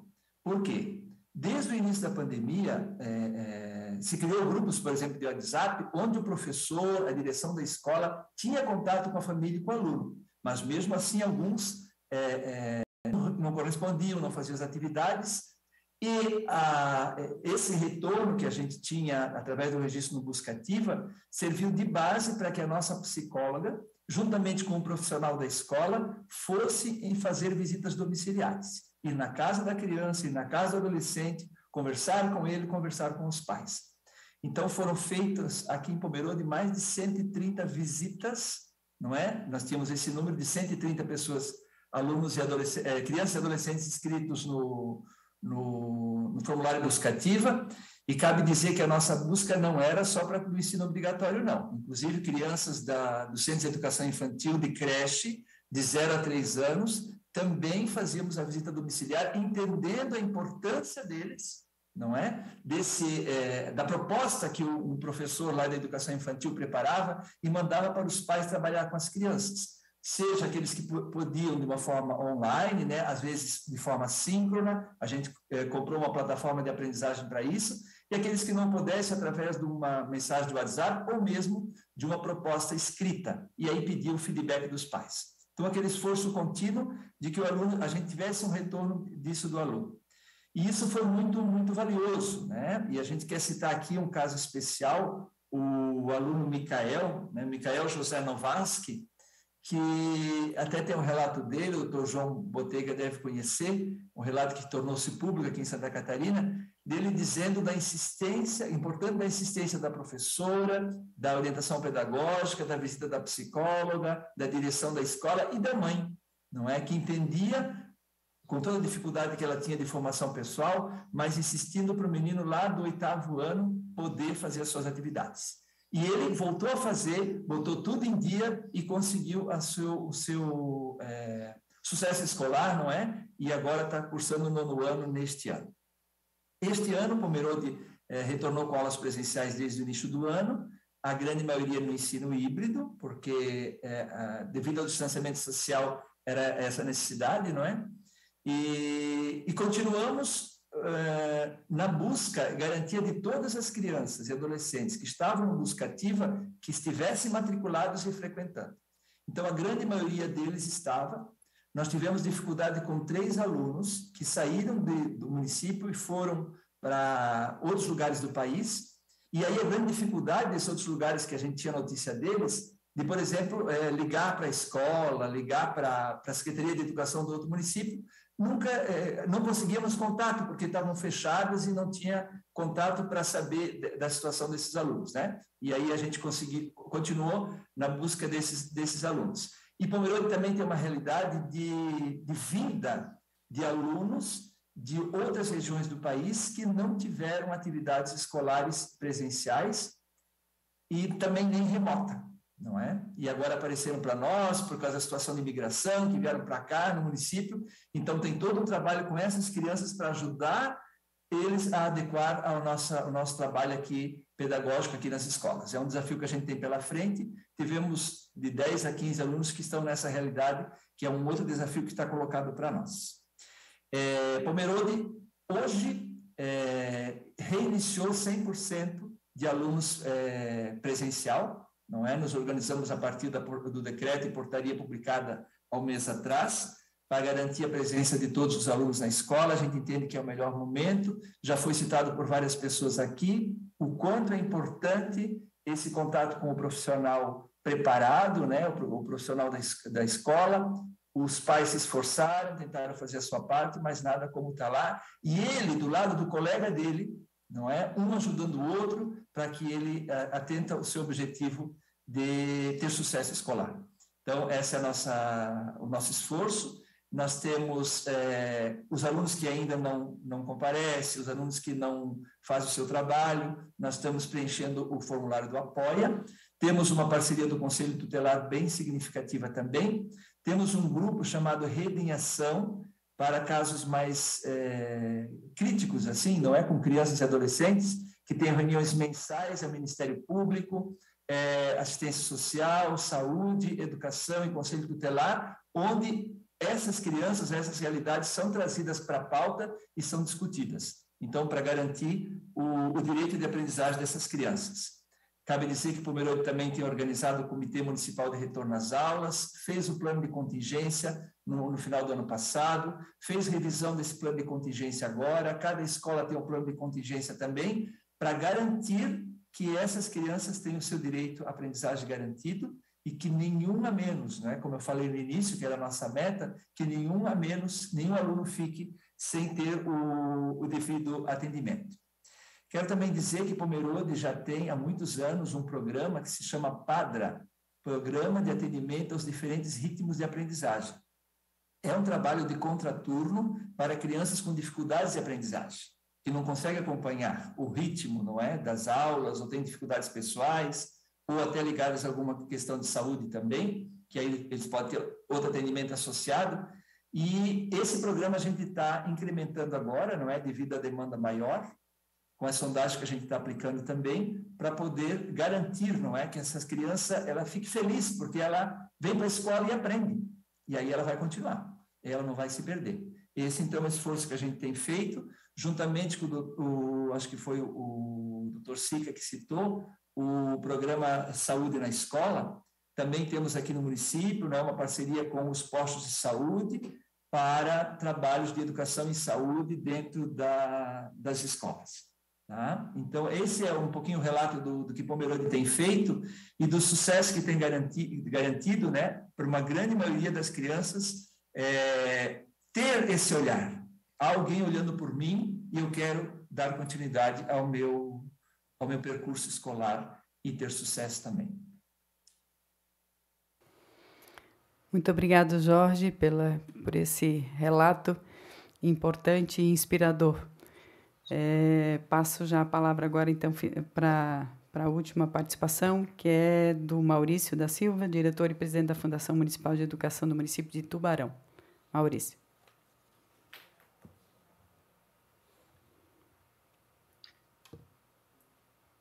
Todos conseguem acompanhar a apresentação? Sim. Dá para acompanhar a apresentação, deputada? Dá, sim. Para mim aqui está ok. Então, tá bom.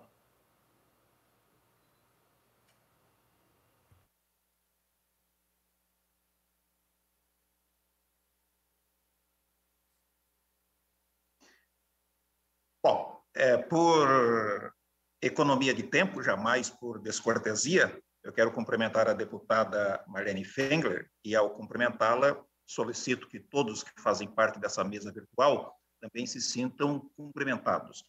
A minha fala vai ser em duas partes. Na primeira, eu vou apresentar um panorama da evasão aqui na rede municipal de Tubarão, comparar a nossa rede com ela mesma e também a comparação com o nível nacional.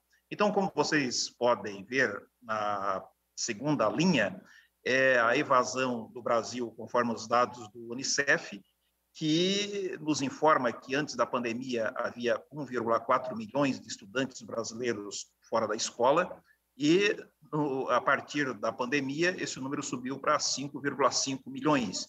Se nós acompanharmos a rede municipal de ensino de Tubarão, nós vamos ver que no ano de 2019, ou seja, antes da pandemia, nós tivemos 122 alunos evadidos, graças ao trabalho do grupo de combate à evasão 98% desses alunos retornaram e 24 deles foram encaminhados para o Ministério Público e também para o Conselho Tutelar. No ano de 2020, ou seja, no ano passado, nós tivemos 37 estudantes que não devolveram atividades. Então, nós consideramos esses estudantes com um vínculo frágil com a escola e muito próximos da evasão. Já no ano de 2021, desses 37 estudantes que não devolveram atividades, 33 fizeram as suas matrículas e os outros quatro eles foram para é, outras redes. Então é, verificamos que mesmo com todo o impacto da pandemia, nós tivemos um número muito pequeno de estudantes, o ideal era que fosse zero, não é? É que não estão vinculados com a escola. O nosso plano de ensino ele é norteado por duas perguntas. A segunda é justamente se neste ano de 2021 aqueles alunos que tiveram muitas dificuldades no ano passado, no ano de 2020, devido à pandemia, e não preciso estar narrando aqui as dificuldades que todos que me antecederam já colocaram muito bem, se eles têm condição de acompanhar o ano de 2021. Tá? Então, nós estamos respondendo nesse plano que estes alunos, ou seja, todos os alunos, eles dispõem, no ano de 2021, de diversas políticas públicas que eles não tinham no ano passado. Por isso, a nossa crença firme que eles podem sim manter-se na escola e também aprender. Então, eu estou listando ali do lado direito as sete iniciativas que a Fundação Municipal de Educação tomou. A primeira delas são as aulas presenciais, que não tinham ano passado, este ano tem, em novo formato. Não vou explicar o que é o novo formato, senão extrapolaria o meu tempo. A, a, ênfase da minha fala vai ser justamente o monitoramento diário dos indicadores educacionais e a rede de proteção, depois eu vou voltar para aprofundar mais um pouco essa questão, o reforço no contraturno, o ponto 3, onde todos aqueles alunos que têm média menor que 7 em português e matemática, eles voltam duas vezes por semana na escola é, no contraturno para receber reforço nessas duas disciplinas. O ponto 4, todos os alunos conectados na internet, ou seja, nós estamos comprando, já compramos os tablets, agora estamos finalizando os chips para que todos os alunos, de fato, estejam conectados é, na internet. Estamos fazendo um forte trabalho de estimulação e de alfabetização já desde a fase pré-escolar. Estamos instituindo, essa parte ainda não está pronta, por isso estamos instituindo um bono por desempenho para todos os professores e aplicamos agora no segundo semestre A Prova Tubarão, que foi uma avaliação aplicada a todos os alunos nos finais de ciclo, justamente para verificar onde esses alunos estão com relação à sua aprendizagem e, a partir daí, as estratégias que vão ser tomadas para poder estar superando as fragilidades e, ao mesmo tempo, também ampliando as potencialidades que esses alunos já têm. Eu vou direto aqui ao ponto 2, que é a ênfase da minha fala, porque, como todos viram, nós tivemos um sucesso bastante grande com relação a, a, manter os alunos vinculados na escola. O grande desafio agora é justamente não perder estes alunos, ou seja, fortalecer o vínculo desses alunos com a escola.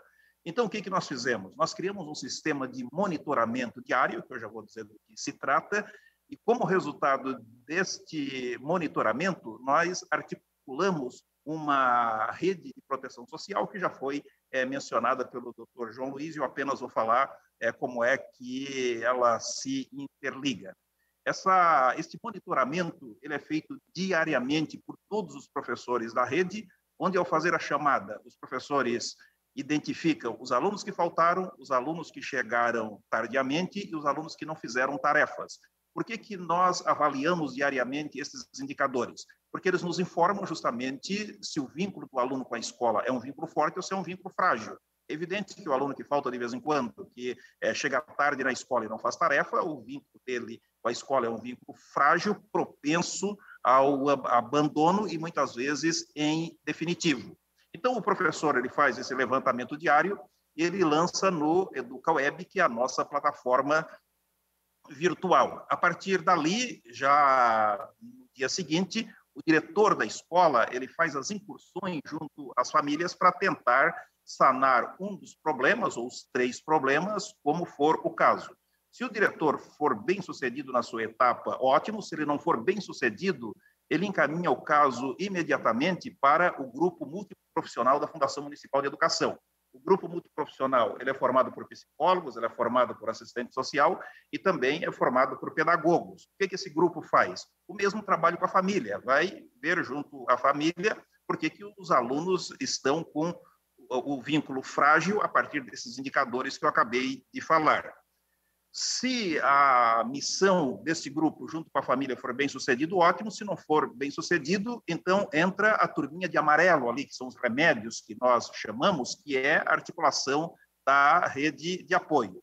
Nós começamos lá pelo lado esquerdo, por exemplo, com a alimentação em casa. Aqueles alunos que ainda estão estudando em casa, eles continuam recebendo alimentação em casa. Tem o grupo de combate à evasão, que, como eu já falei, tem um trabalho muito bem sucedido, pelo fato, até de como eu já havia mostrado, que no ano de 2019, ainda antes da pandemia, dos 122 alunos que se evadiram, graças ao trabalho desse grupo, 98 retornaram. E os que não retornaram foram encaminhados, evidentemente, ao Conselho Tutelar e ao Ministério Público. Nós articulamos nessa rede também a ATDEV, que é a Associação é, dos portadores de deficiência visual em Tubarão. Por que, que fizemos essa articulação? Porque fomos informados pelos oftalmologistas que a pandemia causou uma epidemia de miopia, ou seja, a meninada muito tempo à frente das telas, com menos tempo à luz natural, acabou tendo perda de visão. Então, esse pessoal está nas escolas fazendo os antigos e conhecidos testes de acuidade visual Caso a criança apresenta perda de visão, eles são encaminhados ao, oftalmologista e, se precisar do óculos, então entra a assistência social. Depois, continuando ali depois da ATDEV, vem a Fundação Municipal de Saúde e justamente no setor de saúde mental. A semana passada, a revista Veja ainda trouxe uma importante reportagem mostrando que os casos de ansiedade, principalmente, é, praticamente dobraram. E nós temos casos bastante graves, já desde antes da pandemia, e que se agravaram agora, inclusive de automutilação e assim por diante. Então, na medida em que essa equipe multiprofissional constata que é um problema de saúde mental, há uma conexão direta aqui com a Fundação Municipal de Saúde, setor de saúde mental, para poder fazer o atendimento desses alunos. A Fundação Municipal de Assistência Social entra com o CRAS, com o CREAS, ou seja, com toda a sua rede, nestes casos que são apontados é, pela escola. E, num convênio com o SENAC, é, foi criado o curso de português justamente para atender aquelas famílias que estão migrando para Tubarão. Tubarão recebe uma migração é, muito forte é, de estados vizinhos, como Paraná e principalmente do Rio Grande do Sul, mas nós já tínhamos recebido também bastante haitianos e agora venezuelanos e argentinos. Não é? E nós temos situação de que o aluno fala, o professor não entende, o professor fala, o aluno não entende, até porque as línguas são diferentes. Então, nós criamos esse curso de português, num primeiro momento, para os pais, não é? e depois para os alunos também, justamente para facilitar a comunicação. Então, esta a articulação desta rede ela tem dado excelentes resultados porque a partir dos indicadores educacionais aqueles que eu já citei é, lá em cima nós possamos nós podemos é, acionar todos esses setores para que eles possam então estar atendendo as famílias com o propósito de fazer com que os filhos não só estejam na escola, mas que a presença deles na escola seja uma presença que agregue, de fato, o conhecimento. Eu vou fa falar rapidamente aqui do contraturno é, que é uma política muito interessante devido toda a defasagem que os alunos receberam no ano passado. Mas, além disto, além disto, e aí nós temos feito um esforço muito grande com os professores, porque é, depois do decreto 1408, as salas de aulas elas se tornaram positivamente mais complexas, não é? porque antes do decreto 1408, nós tínhamos os estudantes estudando 100% presencial, aqueles que vinham para a escola todos os dias, nós tínhamos os estudantes no sistema híbrido, aqueles da semana em casa e estudando semana na escola, e os estudantes estudando 100% em casa. Com o decreto 1408, todos esses estudantes estão na mesma sala de aula. Então, eu costumo dizer que antes nós tínhamos uma salada, porque estávamos todos bem, estavam todos bem separados, os alunos, né? e agora nós temos um caldeirão, temos eles todos juntos. Então, além dos desníveis provocados pela pandemia, tem os desníveis de antes da pandemia. Nós já tínhamos constatado os déficits de aprendizagem bastante importantes. O ano de 2020 foi o ano em que esses déficits, déficits eles se aprofundaram. E agora, no ano de 2021, além desses déficits, nós temos esses desníveis que, como disse, causados pela pandemia, por isso a articulação de toda aquela rede de aquela rede de atendimento de proteção social para poder dar o atendimento a esses alunos. Eu termino a minha fala, porque é apenas de 50 minutos, é? desculpa, de 5 minutos, para eu gostaria que fosse 50, né? mas, mas, é, mas é apenas 5, né? é, para dizer que, de fato, a pandemia ela impõe muitas perdas para todos nós, muita dor e muito medo, mas, ao mesmo tempo, ela oportuniza, ela oportuniza que possamos rever e aprimorar processos e procedimentos pedagógicos, e nós temos certeza que de toda esta dor, de todas essas perdas, de todos este medo, vai sair uma escola muito mais inclusiva. Então, é nesse sentido que nós estamos trabalhando, até porque, como disse, nos oportunizou articular toda a rede de proteção social é, em favor é, não só da permanência desses alunos, mas que seja uma permanência com sucesso. Deputada, era isso que eu queria colocar e ficamos à disposição, evidentemente, para o debate, se houver na sequência. Muito obrigada, professor Maurício, pela sua, pelo seu relato. Nós poderíamos ficar aqui ouvindo a tarde inteira essas experiências exitosas, porque certamente elas contribuem muito para aquilo que nós estamos discutindo aqui, que é o grande desafio, que é como conter a evasão e o abandono das, né, dos nossos alunos, como trazê-los de volta, como transformar nossas escolas também em espaços interessantes para os nossos alunos. Aquilo que eu que a gente que eu ouvi aqui também, talvez esse seja um dos nossos maiores desafios também, né? como fazer com que a escola seja realmente um espaço interessante, não só obrigatório, mas interessante para que os nossos alunos, é, aqueles que né, não, não, não, não abandonaram, que não, não saíram das escolas por necessidade, mas é, eu ouvi vários relatos também de crianças e, enfim, de estudantes, de adolescentes reclamando muito disso também, da falta de interesse ou da falta de, da, da do, do do espaço escolar é, é, precisar também de se reciclar, se renovar, se transformar, se modernizar. Então, talvez esse é um, é um debate um pouco mais profundo, mas acho que ele está é, é, inerente em todos os em todos os, os, as falas aqui. Então, acho que é, é uma é, é também um tema que a gente precisa é, discutir além das questões é, pontuais mesmo da do que fazer para trazer os nossos é, alunos de volta à sala de aula. Eu não sei se alguém quer fazer alguma, é, algum, a Sharon ou a, a Patrícia querem fazer algum comentário, alguém mais quer fazer algum comentário, nós também já estamos é, com uma hora bastante adiantada e também temos uma outra comissão aqui em seguida, mas se alguém quiser fazer alguma consideração, senão a gente já vai se encaminhar para, vai para os encaminhamentos finais. Patrícia Zimmermann, por favor, querida. Só um pouquinho. Deu? Deu. Pode falar, Patrícia. Fechou de novo? Estão ouvindo? Agora sim. Agora, Agora sim.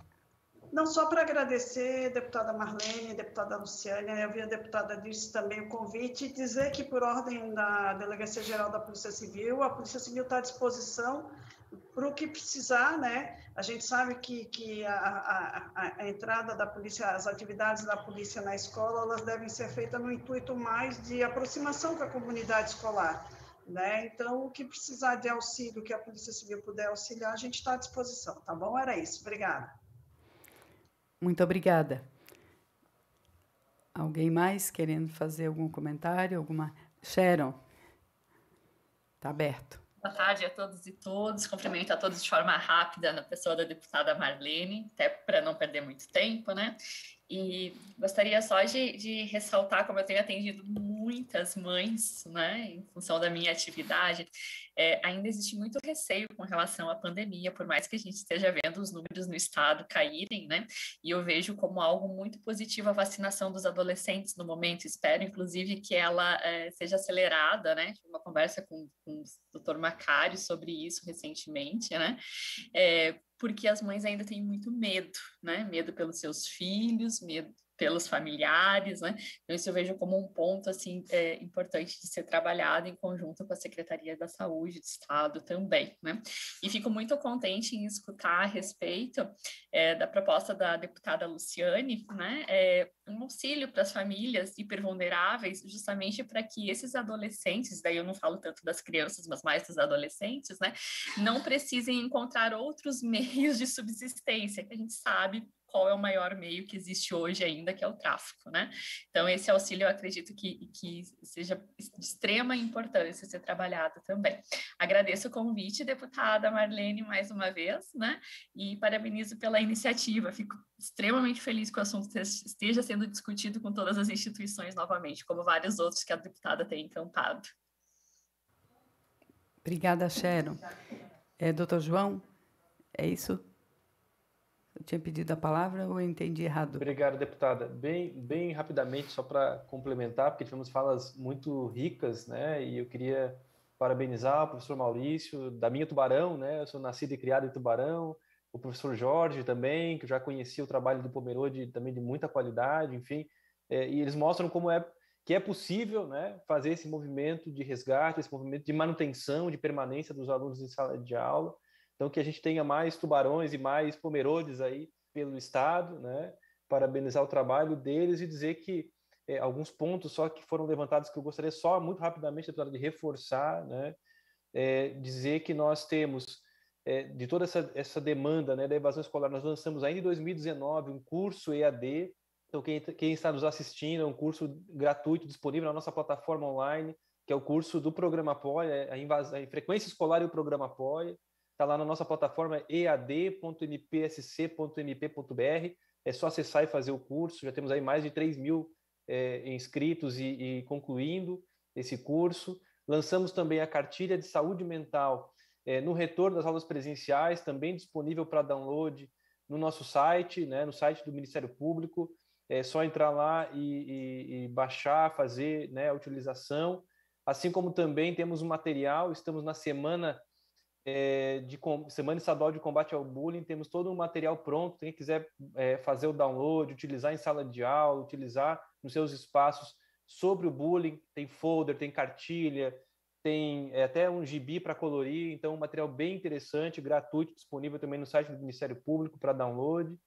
É, e, e para fechar mesmo, deputada, né, a atuação do Ministério Público Desde o ano passado, já foi mencionado o formulário de busca ativa. Esse ano trabalhamos com muita recomendação, muitas recomendações aos gestores, é, com muitas reuniões né, locais, reuniões a nível de Estado. Temos uma reunião essa semana, inclusive, com os promotores para é, retomar esses pontos, entre eles a questão da evasão escolar. É, e queria alertar, deputada, né, para a importância de nós olharmos também para a primeira infância, como foi mencionado pela deputada Luciane. Vários estados têm instituído benefícios para os órfãos da Covid. Esse é um tema que eu acho que devemos discutir aqui no Estado também, né? até como forma de prevenção aí a, a, a futura é, é, evasão escolar. Precisamos, de fato, ampliar as vagas em creche, garantir a pré-escola, alfabetização na idade certa. Temos feito esse movimento aí no Comitê Estratégico de Monitoramento dos Planos de Educação. O tempo integral, queria reforçar a importância do tempo integral. O Estado, ano que vem, vai é, é, uh, implementar o ensino médio, né, é, é, o novo ensino médio em todas as suas escolas, que pressupõe uma carga horária mais elevada. e nós temos é, um número muito baixo de matrículas no ensino fundamental em tempo integral. Então, um aluno que permanece a sua trajetória escolar inteira estudando meio período, quando ele vai para o ensino médio, que ele tem a concorrência do mercado de trabalho, ele vai ser obrigado, entre aspas, a permanecer o dia inteiro na escola, e isso pode gerar, então, né, é um risco ainda maior de evasão. Então, é muito importante que os municípios implementem também o tempo integral para garantir que esse aluno, durante toda a sua trajetória escolar, desde o, da creche, na pré-escola, posteriormente, eventualmente, no fundamental e no ensino médio, ele, ele, permaneça no tempo integral, né, sem prejuízo de outros projetos e tudo mais. E eu queria fechar, deputada, mesmo, com a importância que uh, os, os exemplos de Tubarão e Pomerode nos trazem da implementação no estado de Santa Catarina, seja na rede estadual, nas redes municipais, da Lei 13.935 de 2019, que é a lei que estabelece a obrigatoriedade de contratação de profissionais da psicologia e do serviço social para atuarem na educação, junto com os nossos pedagogos, com os nossos professores, profissionais eh, da educação. E essa lei já teve seu prazo encerrado, ela só não foi implementada em muitos municípios por conta da lei, da lei complementar 173, que proíbe a contratação de novos profissionais. É, então, é muito importante que os municípios se organizem, o próprio Estado também, que ainda não fez esse movimento de. Temos discutido isso com o Estado também, mas ainda não foram criados os cargos e não, há ainda né, um, um, encaminhamento nesse sentido, porque essa, esse, essa equipe ela tem uma função importantíssima na, no acompanhamento desses alunos em situação de evasão ou em risco de evasão escolar, de abandono, como os exemplos de Tubarão e Pomerode nos mostraram, né? E deixar por fim, então, um, um recado, né? É, eu falei é, é, em deixar nenhum aluno para trás, o professor Jorge falou em nenhum a menos, né? então eu queria deixar esse recado para os nossos professores, professoras, conselheiros e conselheiras tutelares que estão nos assistindo, assistindo, todos os integrantes da rede, que esse tem que ser o compromisso de cada um de nós, né? O compromisso ético, o compromisso profissional, o compromisso social de não deixar nenhum aluno para trás, nenhum a menos. Vamos ter que buscar um por um, de casa em casa, é, um esforço conjunto para que a gente consiga é, é, entregar né, para a sociedade catarinense um futuro melhor e para essas crianças e adolescentes o seu futuro que se dá, sem dúvida nenhuma, por meio da educação. Né? Não há outra forma de desenvolver um ser humano e a sociedade sem ser por meio da educação, educação de qualidade. Obrigado. Muito obrigada, doutor João. Eu estou vendo que o professor Maurício também quer, quer dar mais uma contribuição, é isso? Está me ouvindo? Agora sim. Sim. É, na, na, verdade, é, é, é, é para o doutor João Luiz. É, doutor João Luiz, eu fiz uma provocação ao Ministério Público local e não estou pedindo para o senhor se posicionar agora, mas para nos ajudar nessa questão. A pergunta é a seguinte: é, o município é obrigado a oferecer vagas online para os pais cujos filhos não têm comorbidade e não querem mandar os filhos para as vagas presenciais? Nós temos vagas presenciais para todos, mas tem alguns pais que, mesmo com os filhos não tendo comorbidade, querem manter os filhos estudando em casa. Os benefícios já foram todos falados e todos, e todos, e todos já sabem, não é? é de quando a criança vem para a escola. Mas o município é obrigado a continuar oferecendo essas vagas online se nós temos vagas presenciais para todos?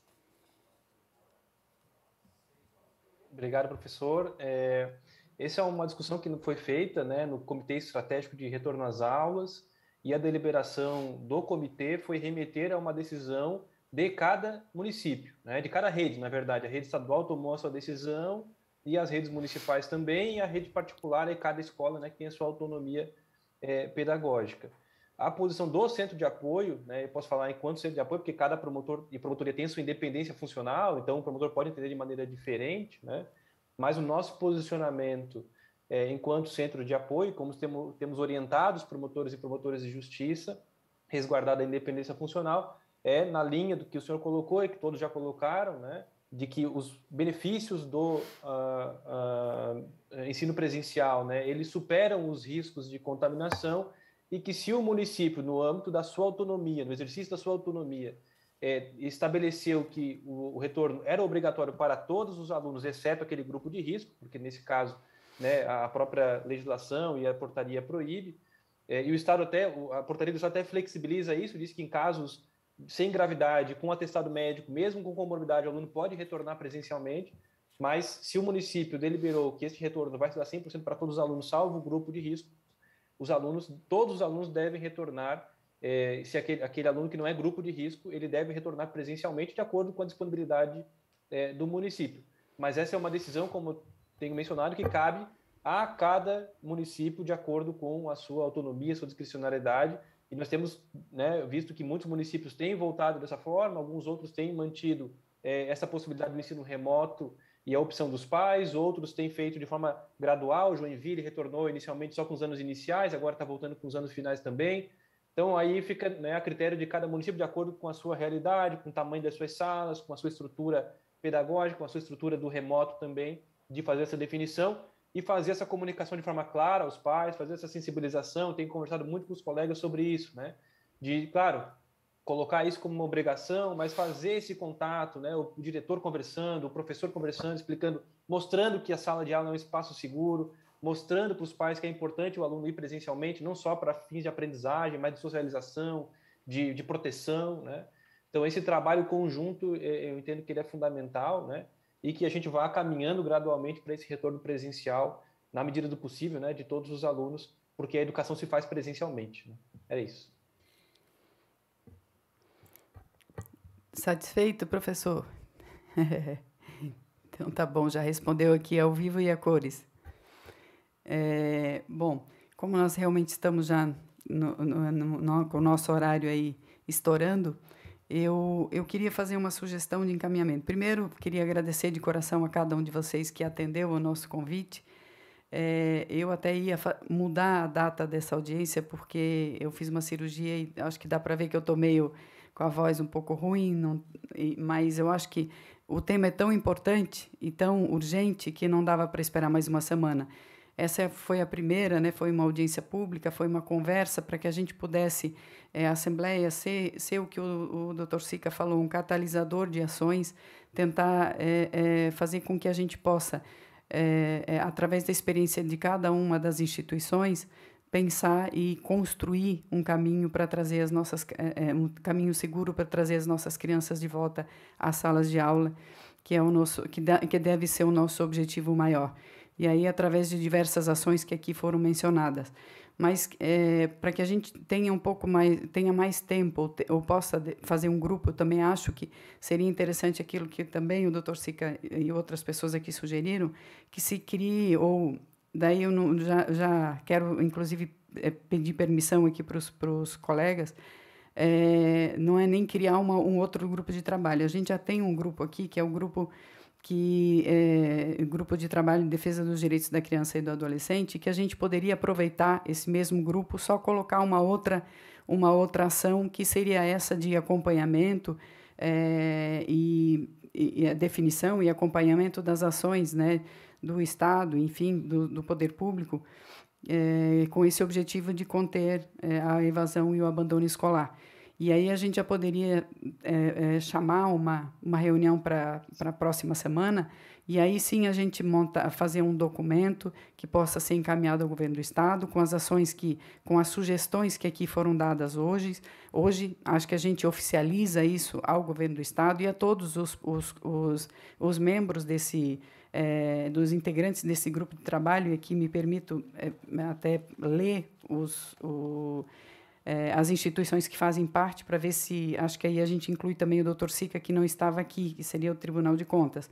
Mas, em princípio, então, seria o Tribunal de Justiça, através da desembargadora Rosane Portela Wolff, é, a Secretaria de Desenvolvimento Social, como foi falado aqui, muito bem falado, que a gente precisa de é, equipes multidisciplinares, então a Secretaria de, de Assistência Social, que é a Neilin Brugman, a Patrícia Zimmermann, também delegada que está é, participando aqui também da Polícia Civil, o Enio Gentil, é, que é da OAB, é, a Sharon, que é da Defensoria Pública, o Major Ricardo Silva Souza, representante da Polícia Militar, a Janice, Janice Merigo, assistente social da, da Federação da FECAM, é, o, o Gilberto Hadi, que, que é conselheiro, é, é, representa, aliás, a Associação dos Conselheiros e Ex-Conselheiros Tutelares da Catarina, o Valdir Gugiel, que é da Gugiel, que é da, do SEDCA, Fernanda, que, é representa, é, é, que nesse grupo de trabalho representa a Secretaria de Educação, é, também Fernanda Zimmermann, né?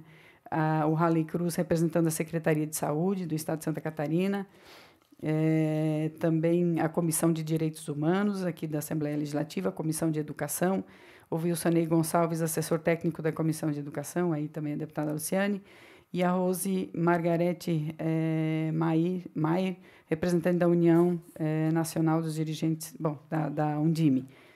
E o, aí também eu sugeriria a participação do doutor é, Sica, que eu acho que é extremamente importante, porque ele também pode é, tem esses dados que são importantes para que a gente pense em qualquer tipo de ação que esse grupo possa é, é, efetuar.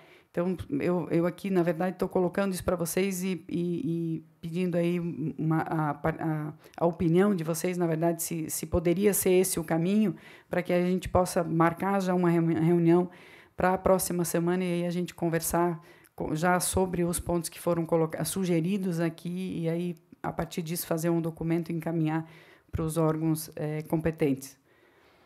Poderia ser isso ou alguma outra sugestão? Todos concordam?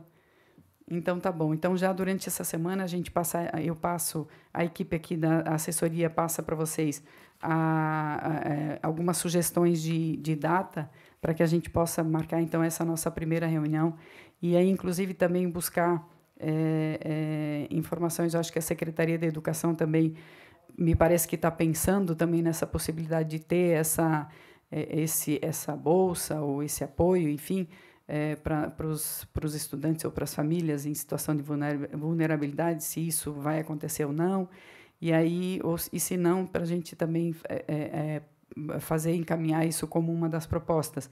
E, e, e, por fim também eu acho que eu não sei o que vocês acham, mas eu acho que é, é, se o Estado tivesse a condição também, de repente até de desses é, exemplos que foram colocados aqui, como certamente a gente tem muitos outros no estado de Santa Catarina, é, se pudesse fazer uma campanha de institucional mesmo, né, campanha de conscientização, né, aqui no estado de Santa Catarina para a sociedade como um todo, para que todos se sintam responsáveis, partícipes e façam a sua parte na busca ativa é, não necessariamente né, do apoia e da busca ativa das escolas, mas na busca ativa da sociedade mesmo, de trazer as nossas crianças de volta às salas de aula, que é o lugar da onde elas não devem sair, a não ser quando elas concluam é, a sua educação formal. Não sei se, se, se vocês acham que dá para a gente incluir isso também, mas aí na próxima aula já discutimos isso também, mas aí eu já também a gente já pode fazer uma consulta ao governo do estado para tentar para ver se seria é, possível em termos orçamentários, se o Estado teria essa disponibilidade ou essa disposição também de fazer uma campanha nesse sentido. Acho que aí a gente teria uma coisa, é, uma ação é, integrada e mais completa. Ok?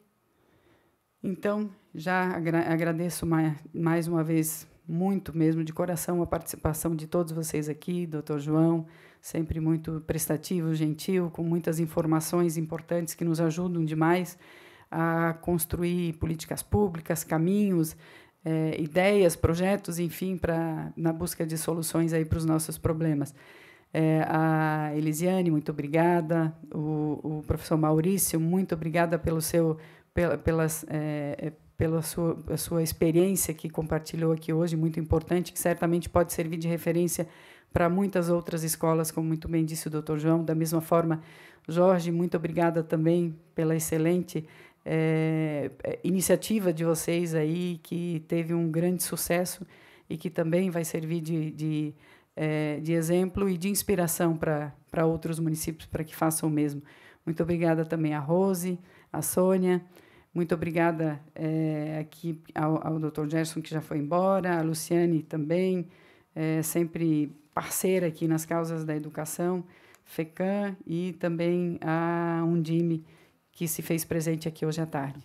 Então, muito obrigada a todos e é, durante a semana a gente encaminha a data, algumas alternativas de datas para que a gente possa fazer imediatamente uma reunião e, a partir disso, encaminhar, é, fazer os nossos encaminhamentos dessa audiência pública. Muito obrigada e um abraço a todos.